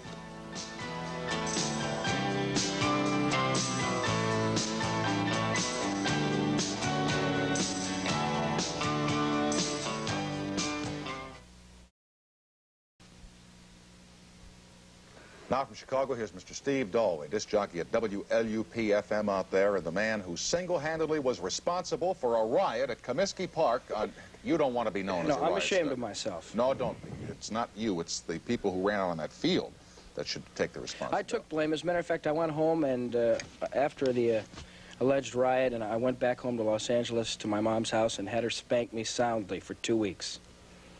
And I enjoyed it. too, right? Yeah, I enjoyed I it. real And so did she. and she's now suing my father for divorce, and we're getting married in about three weeks, and I'm kind of proud to make the announcement here on the show. what kind of people do I hate? I got this guy coming on here saying, you know, I got this guy over here. Why do you hate this? Why do you hate disco so much? Well, I can't find a... Can I take this off? I feel you can. silly sitting here in It's a the, only re- it's the only reason we brought you here. So, you know, if you want to take it off. Well, I do look off. good in uniform, and I know you like guys in uniform. And That's right. That's right. You like that. you know, my name. This is this is kind of uh, want to pass it on. coincidental. My my real name is Spam, and I changed it to Steve Dahl. And your name is Meatloaf, and of course that's not your real name, and you changed your real name to Meatloaf. It's kind of coincidental. Spam. See, that's a meat product, and it comes in a loaf. You're on a roll. It's a little smaller. Good, Steve. Let's talk I thought about, about, Chicago. I thought about calling myself Turkey Frank for a while, and no. change it to Steve Dahl. I hate disco because I can't find a white three-piece suit that fits me off the rack that hangs well, and uh, you got to have one of those. reason. That's exactly the same reason that I dislike disco. And I'm allergic Exactly. to gold jewelry. Oh, see, and I don't I'm like pina coladas. I'm allergic to coconut. So Mm. what does it uh, hold for me? Probably nothing. Nothing. I can't dance. One leg is shorter than the other. I, uh, He's see, he's I- had a worse childhood than me. Have one you- leg shorter than the other one. Have you had lunch with Bill Paley recently? no, I've had lunch with Bill Veeck recently, though. oh, the guy who uh, runs the team out Right. there in Chicago. Yeah, he was pretty upset with me. And he beat me about the face, too, for a while. And he has a wooden leg. And that didn't... uh, Weren't you amazed that uh, 50,000 people turned out to uh, vent their venom on disco records that Oh, night? yes. Yeah, we thought we'd probably get 20 or 30,000, actually. And uh, there were enough security people there to handle that many. But uh, they were too crazed, and there were too many of them, and that's where the problems really uh, Yeah. Occurred. Well, listen, it's not The what record we've business was good that week, though. they sold like 90,000 Yeah, the record singles, companies, they complain to me. in They say, Steve, what are you doing? You're destroying the industry. I said, no, I'm not. They buy rock and roll records, and now they buy disco records, too, to blow them up. They love it. As a matter of fact, I have some here tonight. I thought we could... Would you like to break one with me? Can we do this? You can do anything you want, Steve. I got uh, No, I like Saturday staying Night alive. Fever? I say I can't help it. I like staying alive. Oh, Come on. No, you can't say that, so you can't like any of them. No, I got. I like staying alive. What You're going to tell hurt you? your rock and roll record sales. No, no. I'm, I like staying Steve, alive. Staying the alive. courage is of your too. convictions. Remove that record from Meatloaf's hands Yeah, and here, smash it ahead. into a million it. pieces. All Go right. ahead, break it. Get it out of your system These now, guys are Steve. friends of mine. You're in trouble. These guys are friends no, of mine. you're in trouble. The village people, they're friends of mine. and I did, listen, her real name is Gaines. You know that? I did hair with her sister Linda. I mean, how... Oh, wait a second. Hold it. Is that a brand new record? Hold it. This is twelve ninety five. Come on. I got a receipt here. I need to talk to somebody about this, too. Is this a production expense that I I mean, can there get are a lot of people for? who would like to have this record. We don't want to just break it into a million Fred, pieces. There are kids in India that want Bee Gees records. I know. I've seen that. know they- Sally Struthers talks yeah. about it. Oh, they- send your disco records to India. She Yeah, they, they time. trade them for food there. Uh, it's I, I do it right on my head. It's very simple. It's just a. That. And actually, you know, to get serious for a second, so the entire country doesn't think I'm a raving idiot. my parents are watching tonight. Really? It's it's not so much the music that I dislike. It's actually the culture, and, and we're a rock and roll station. The Loop is in Chicago. It's Uh, true. hardcore rock and roll station, and it's actually quite intimidating to. Uh, uh, to our audience, to myself, to most rock and rollers, because you have to look perfect. Your hair has to be beautiful, and I you just sure you don't want to do I- one? I did. I mean, I, I did, you know. Would you like to do one? No, you know thanks. what- you know- You don't. can use the helmet. It doesn't hurt. No, no, I don't Do you know what like Ted to Nugent said? Uh, la- I saw Ted Nugent last Saturday. You know what he said about it? He said he was glad for disco because it kept him away from his concerts. He says, These guys don't come close to me, boy. They stay away from me. Well, it's actually gotten out of proportion, you know, because uh, New York, the media centers, and Los Angeles are so into it now, and the trendy ad men go down to Studio 54 and uh, Put on try a dress and say, hi, let's have a good time. Yeah, sailor? Pretend they're Margaret Trudeau.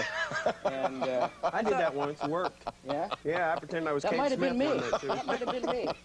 I went through Studio 54 singing, God bless America. You know what? Ethel Merman has a disco album out now. Yeah. It's very interesting to hear. Alexander's doing uh, Annie- ragtime band, Annie, disco. get your gun, disco. Yeah, yeah. I got all it's that good. stuff. It's good stuff. But anyway, it's intimidating. We're just trying to put it back in perspective. It's not that important. I don't want to see Margaret Trudeau's face anymore on the cover of anything with her little see-through dress on, you know, or Ali MacGraw and doesn't have a bra on, and I'm not interested, you know. You know, they get they get, they get time. You know, Ali MacGraw and now Margaret Trudeau will have to get equal time over there. He asked me to do that. What equal time? To get him on oh, okay. What is insane coho lips? Oh, that's drug inspired. You were talking about drugs? Let's talk about them. I don't experiment with them because I don't need to experiment anymore. I know exactly what I'm doing with them now.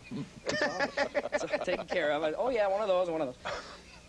In Chicago, they have a gang. They have a gang, a street gang. Several, yeah. Called the Insane Unknowns, which I think is an interesting name for a Mexican street gang. You know, somehow in a cosmic uh, flash, they thought, Insane Unknowns. Let's be that. And I took the insane from them, the coho from coho salmon in uh, Lake Michigan, and lips because... Everybody's got them. Yeah, that too.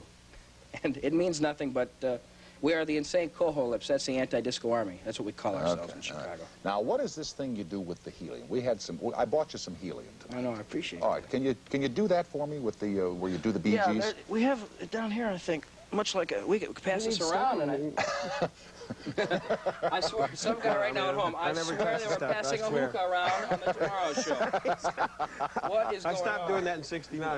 You know, after I opened to Hendrix, I really did. you Yeah, know. spent all Me day. and Hendrix were backstage doing this stuff once, and we were really out there. no fooling. I'm kidding, Tom. Oh, It's I a never joke, know Tom. with you. Well, you It's a get joke, very know. lightheaded from this. All right, I, Oh, excuse me. And my, Go ahead and give me some. Uh, Oh, yeah, that sounds good. Okay. I need a little bit more now. I just wanted to test it. I will now do. You sure you would like to do? Whoa, I'm seeing God.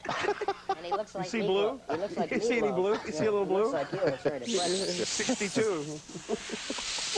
Well, you can tell by the way I use my walk, I'm a Chinese cook. what do you think?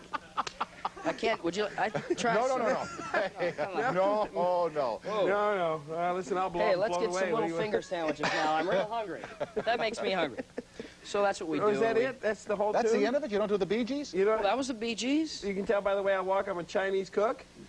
What's ver- All what's right. the second line? I don't know. I'll do more if you want. Go, Yeah, go give me I, see, but I can't do too much at one time, as I'll pass out here. That's okay. That's okay. No, I'm already. Show's almost over. I'm already- You go down, you go down. It'll be great. For all. It'll be great if you're gonna go out. Go out on TV. man. Exactly. I mean, go Chicago. out. You know? Hey, listen, let me ask you a question. Yeah. Do you want to go out on an FM station in Chicago? If you're going to go, pal, you might as well go on 175 big ones coast to coast. You're right. All right, here we go. here, here we go. Showtime.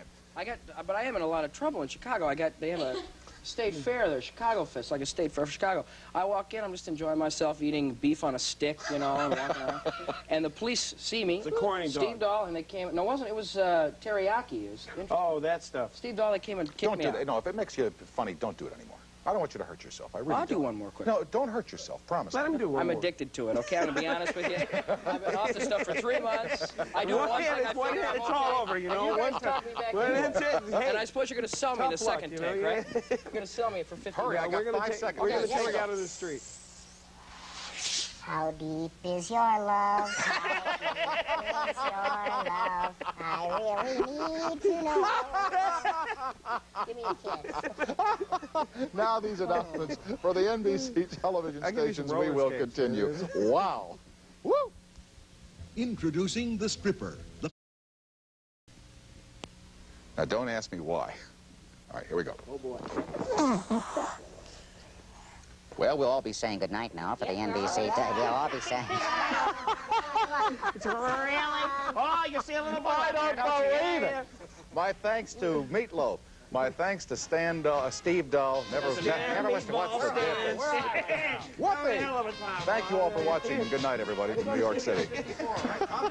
While in New York, guests of The Tomorrow Show stayed at the elegant St. Moritz Hotel on Central Park South, near major corporate headquarters, Fifth Avenue Shopping, and the Theater District. Hotel accommodations furnished in exchange for this announcement. Tomorrow on Today.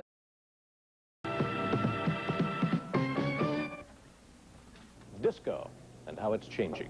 In the remaining lazy years of the 70s, people were ready for a new sound and a new star. And when both came along in one shining package, the impact was explosive. Saturday Night Fever was an international hit with a kind of rare force capable of starting new trends. Travolta's white suit became the uniform for the young disco dancer. The public rushed to discotheques that had cloned the aura of Travolta's world, recreating the total environment of flashing lights, from the ceiling to the dance floor. Couples were dancing together again. They looked more like the ballroom spectacles of the 40s than the rock and roll set. And the mass media turned the craze into a gold mine. The soundtrack of Saturday Night Fever became the biggest selling album in history, grossing $215 million worldwide. The movie itself brought in over 100 million. Chicago radio stations were soon programming their entire day with the danceable up-tempo beat. And disco even saved Rush Street. When Mr. Kelly's folded, everybody thought Rush Street would head for the beat joints and strip parlors. Live music was gone. And then discotheques sprang up, attracting hundreds of thousands of people down here at night. Millions of dollars was spent on the flashing lights and the sound systems and restaurants to serve the dancing public. And once again, Rush Street got hot.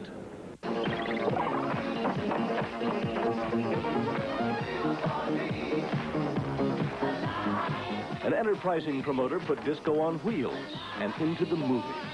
Even the black radio market in Chicago, which has traditionally snapped its fingers to the tune of its own drummer, has been affected by the disco craze. Tom Joyner is a top personality at WJPC in the morning and at the Happy Medium Disco Mondays and Fridays. At both places, he is a disc jockey with a special black disco sound. Black disco music is, uh, is, is, could be classified as funk, okay? For instance, like a, a music like this. That's funk. That's Prince. Hear that funk? Smell it? All right. Funk is a ham hock in your cornflakes. All right, Bill Kurtis, you want some funk? Here is some funk. This is Bootsy and the Rubber Band. Yeah, but dabba doo, baby. Yeah, but dabba doo? But as the 70s came to a close, so did the disco trend. Within the past year, disco records have dropped in sales from 60 to 70% of the market down to 5%. The disco radio stations are beginning to mix their disco sound with pop and rock music. Many listeners attracted to the pounding beat in the first place found a steady diet to be a Chinese water torture in sound. Disco owners feel people will still come to dance, but the unending thirst for the pounding disco beat appears to have been quenched. In Chicago, as in no other city, disco's demise has been hastened by a curious mixture of a Chicago radio station, clever promotion, and a disc jockey named Steve Dahl. It's an intimidating uh, uh, lifestyle and culture, and I think there are enough uh, uh, in intimidating factors in the world these days that you don't need something uh, ridiculous and absurd like that uh, to make you feel like a jerk because you can't get into it and slide and hang out and snort pina coladas. Dahl is talking about a resentment toward disco among the young. He's been exploiting that feeling for less than a year, breaking records on the air and forming an anti-disco army of followers. To his surprise, his phantom radio army turned out to be real. The movement against disco spilled onto the field at Comiskey Park, evidence that Dahl and the Loop had touched a responsive nerve among its young listeners. Not only did it help cut short the disco craze, but it catapulted an FM radio station into Chicago radio history. That report tomorrow. Who's got the best new car warranty at no extra cost? Oh. Mary Laney, Channel 2 News from McCormick Place.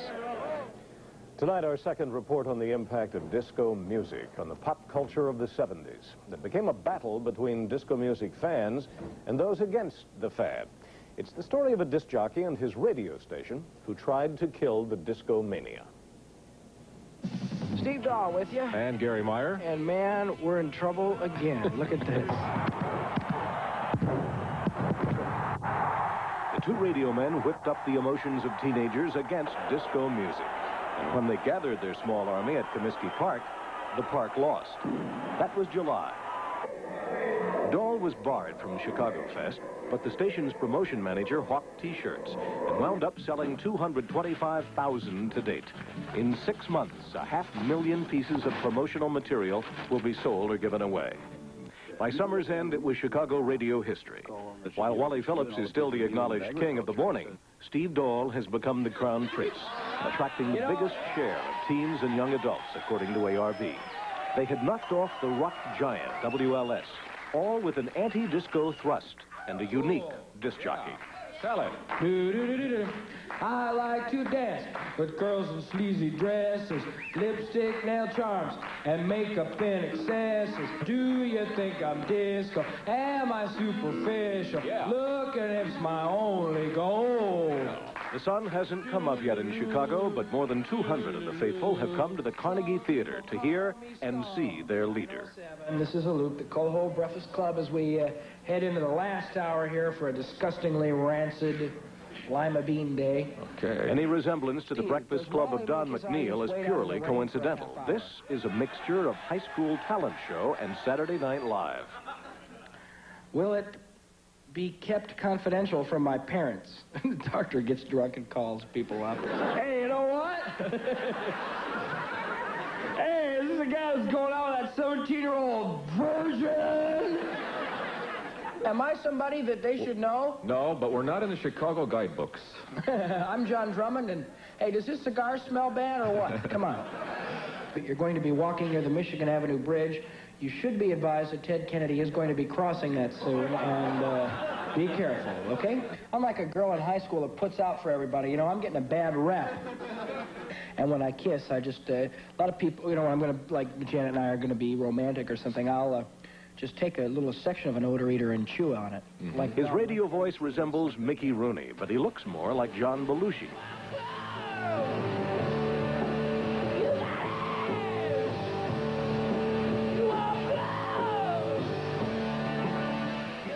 So appealing about Dahl? For teenagers, it's that rebellious streak, saying the unspeakable, using sexual innuendos, being irreverent, making fun of anybody. His material ranges from gutter tripe to social commentary. I guess basically I get paid for uh, uh, doing what they used to kick me out of school for, which I think is a wonderful thing. Just being stupid. These are the things I do on the air every day are the things that they used to send me out in the hallway for. Competitor Tom Joyner of WJPC likes Dahl, but has reservations about his movement. I've known some people that walk down the street with with, with uh, something on their something on their shirts or on the back of their jackets that says disco, and and some of those some of his what he call Dahl's army or whatever they are, it almost got jumped on and stuff. You know, he's um he's he's he he could he could very well be a very dangerous person. Dahl's anti-disco record has sold a half million copies in three months. His latest, recorded Monday, capitalizes on another emotional issue. Ooh, you got a real nice beard. Real nice beard. You know it really caught my eye, Atola. But you know your mind is weird. Your mind is weird. You really are a nutty kind of guy, Atola. Come on. Media critics call him inventive, creative, funny. But his humor is raw, unfiltered, seemingly without limits. And that's just the way he wants it. Breaking new ground in comedy. One reason they can still say, We have a remarkable radio station.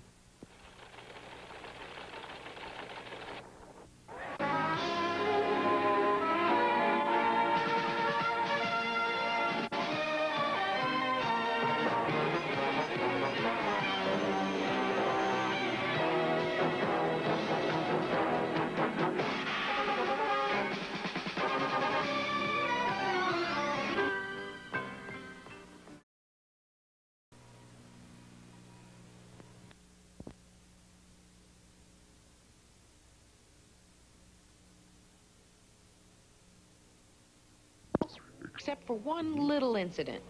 Well, when he quit school and we found out about it five months later, yes, that was a little over the line. Nine years later, Steve doesn't need diplomas, but he does need a daily dose of audience adoration. He needs it. It's like a fix for him. Being able to have the audience like him, care about him. They don't just like him, they idolize him. His fans range from the very young through 14-year-olds with braces to 35-year-old bankers. Steve claims they're all crazy, but he does truly appreciate them. They're wonderful. I couldn't make my house payments without them because I'm not qualified to do anything else but dig ditches. Actually, Steve is into a lot of other things, and he's doing quite well at all of them. Do you think I'm disco? Cause I spend so much time blow drying out my hair. His record's a big national hit, and now he's working on a comedy album. In addition, he's putting together a weekly television show, and he's marketing his own line of Hawaiian shirts. While Steve is occupied with his many business ventures, his 29-year-old wife, Janet, is in law school. I have to keep my husband out of jail. As you can see, he's been libelous on about eight occasions so far this morning. Do you have a lot of pending lawsuits? I have one pending right now, that's all. And that's as a result of Comiskey Park. What happened at Comiskey Park? Boy, you got me, I'll tell you. No one really knows for sure. It was the high point of Steve's anti-disco campaign where he blew up thousands of disco records in the middle of Comiskey Park. The only problem was the swarms of kids who almost tore down the park. Steve says it wasn't his fault, but still he's become more conservative and now destroys only one record at a time.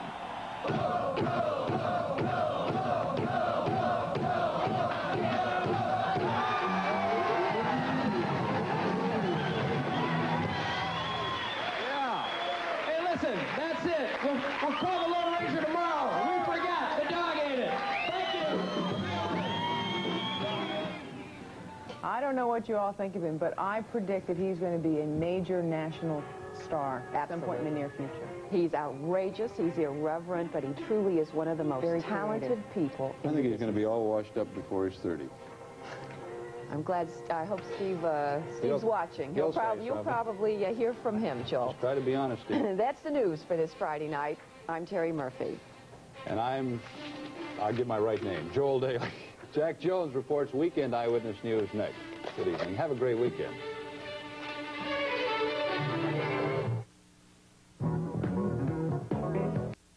Plus gets out.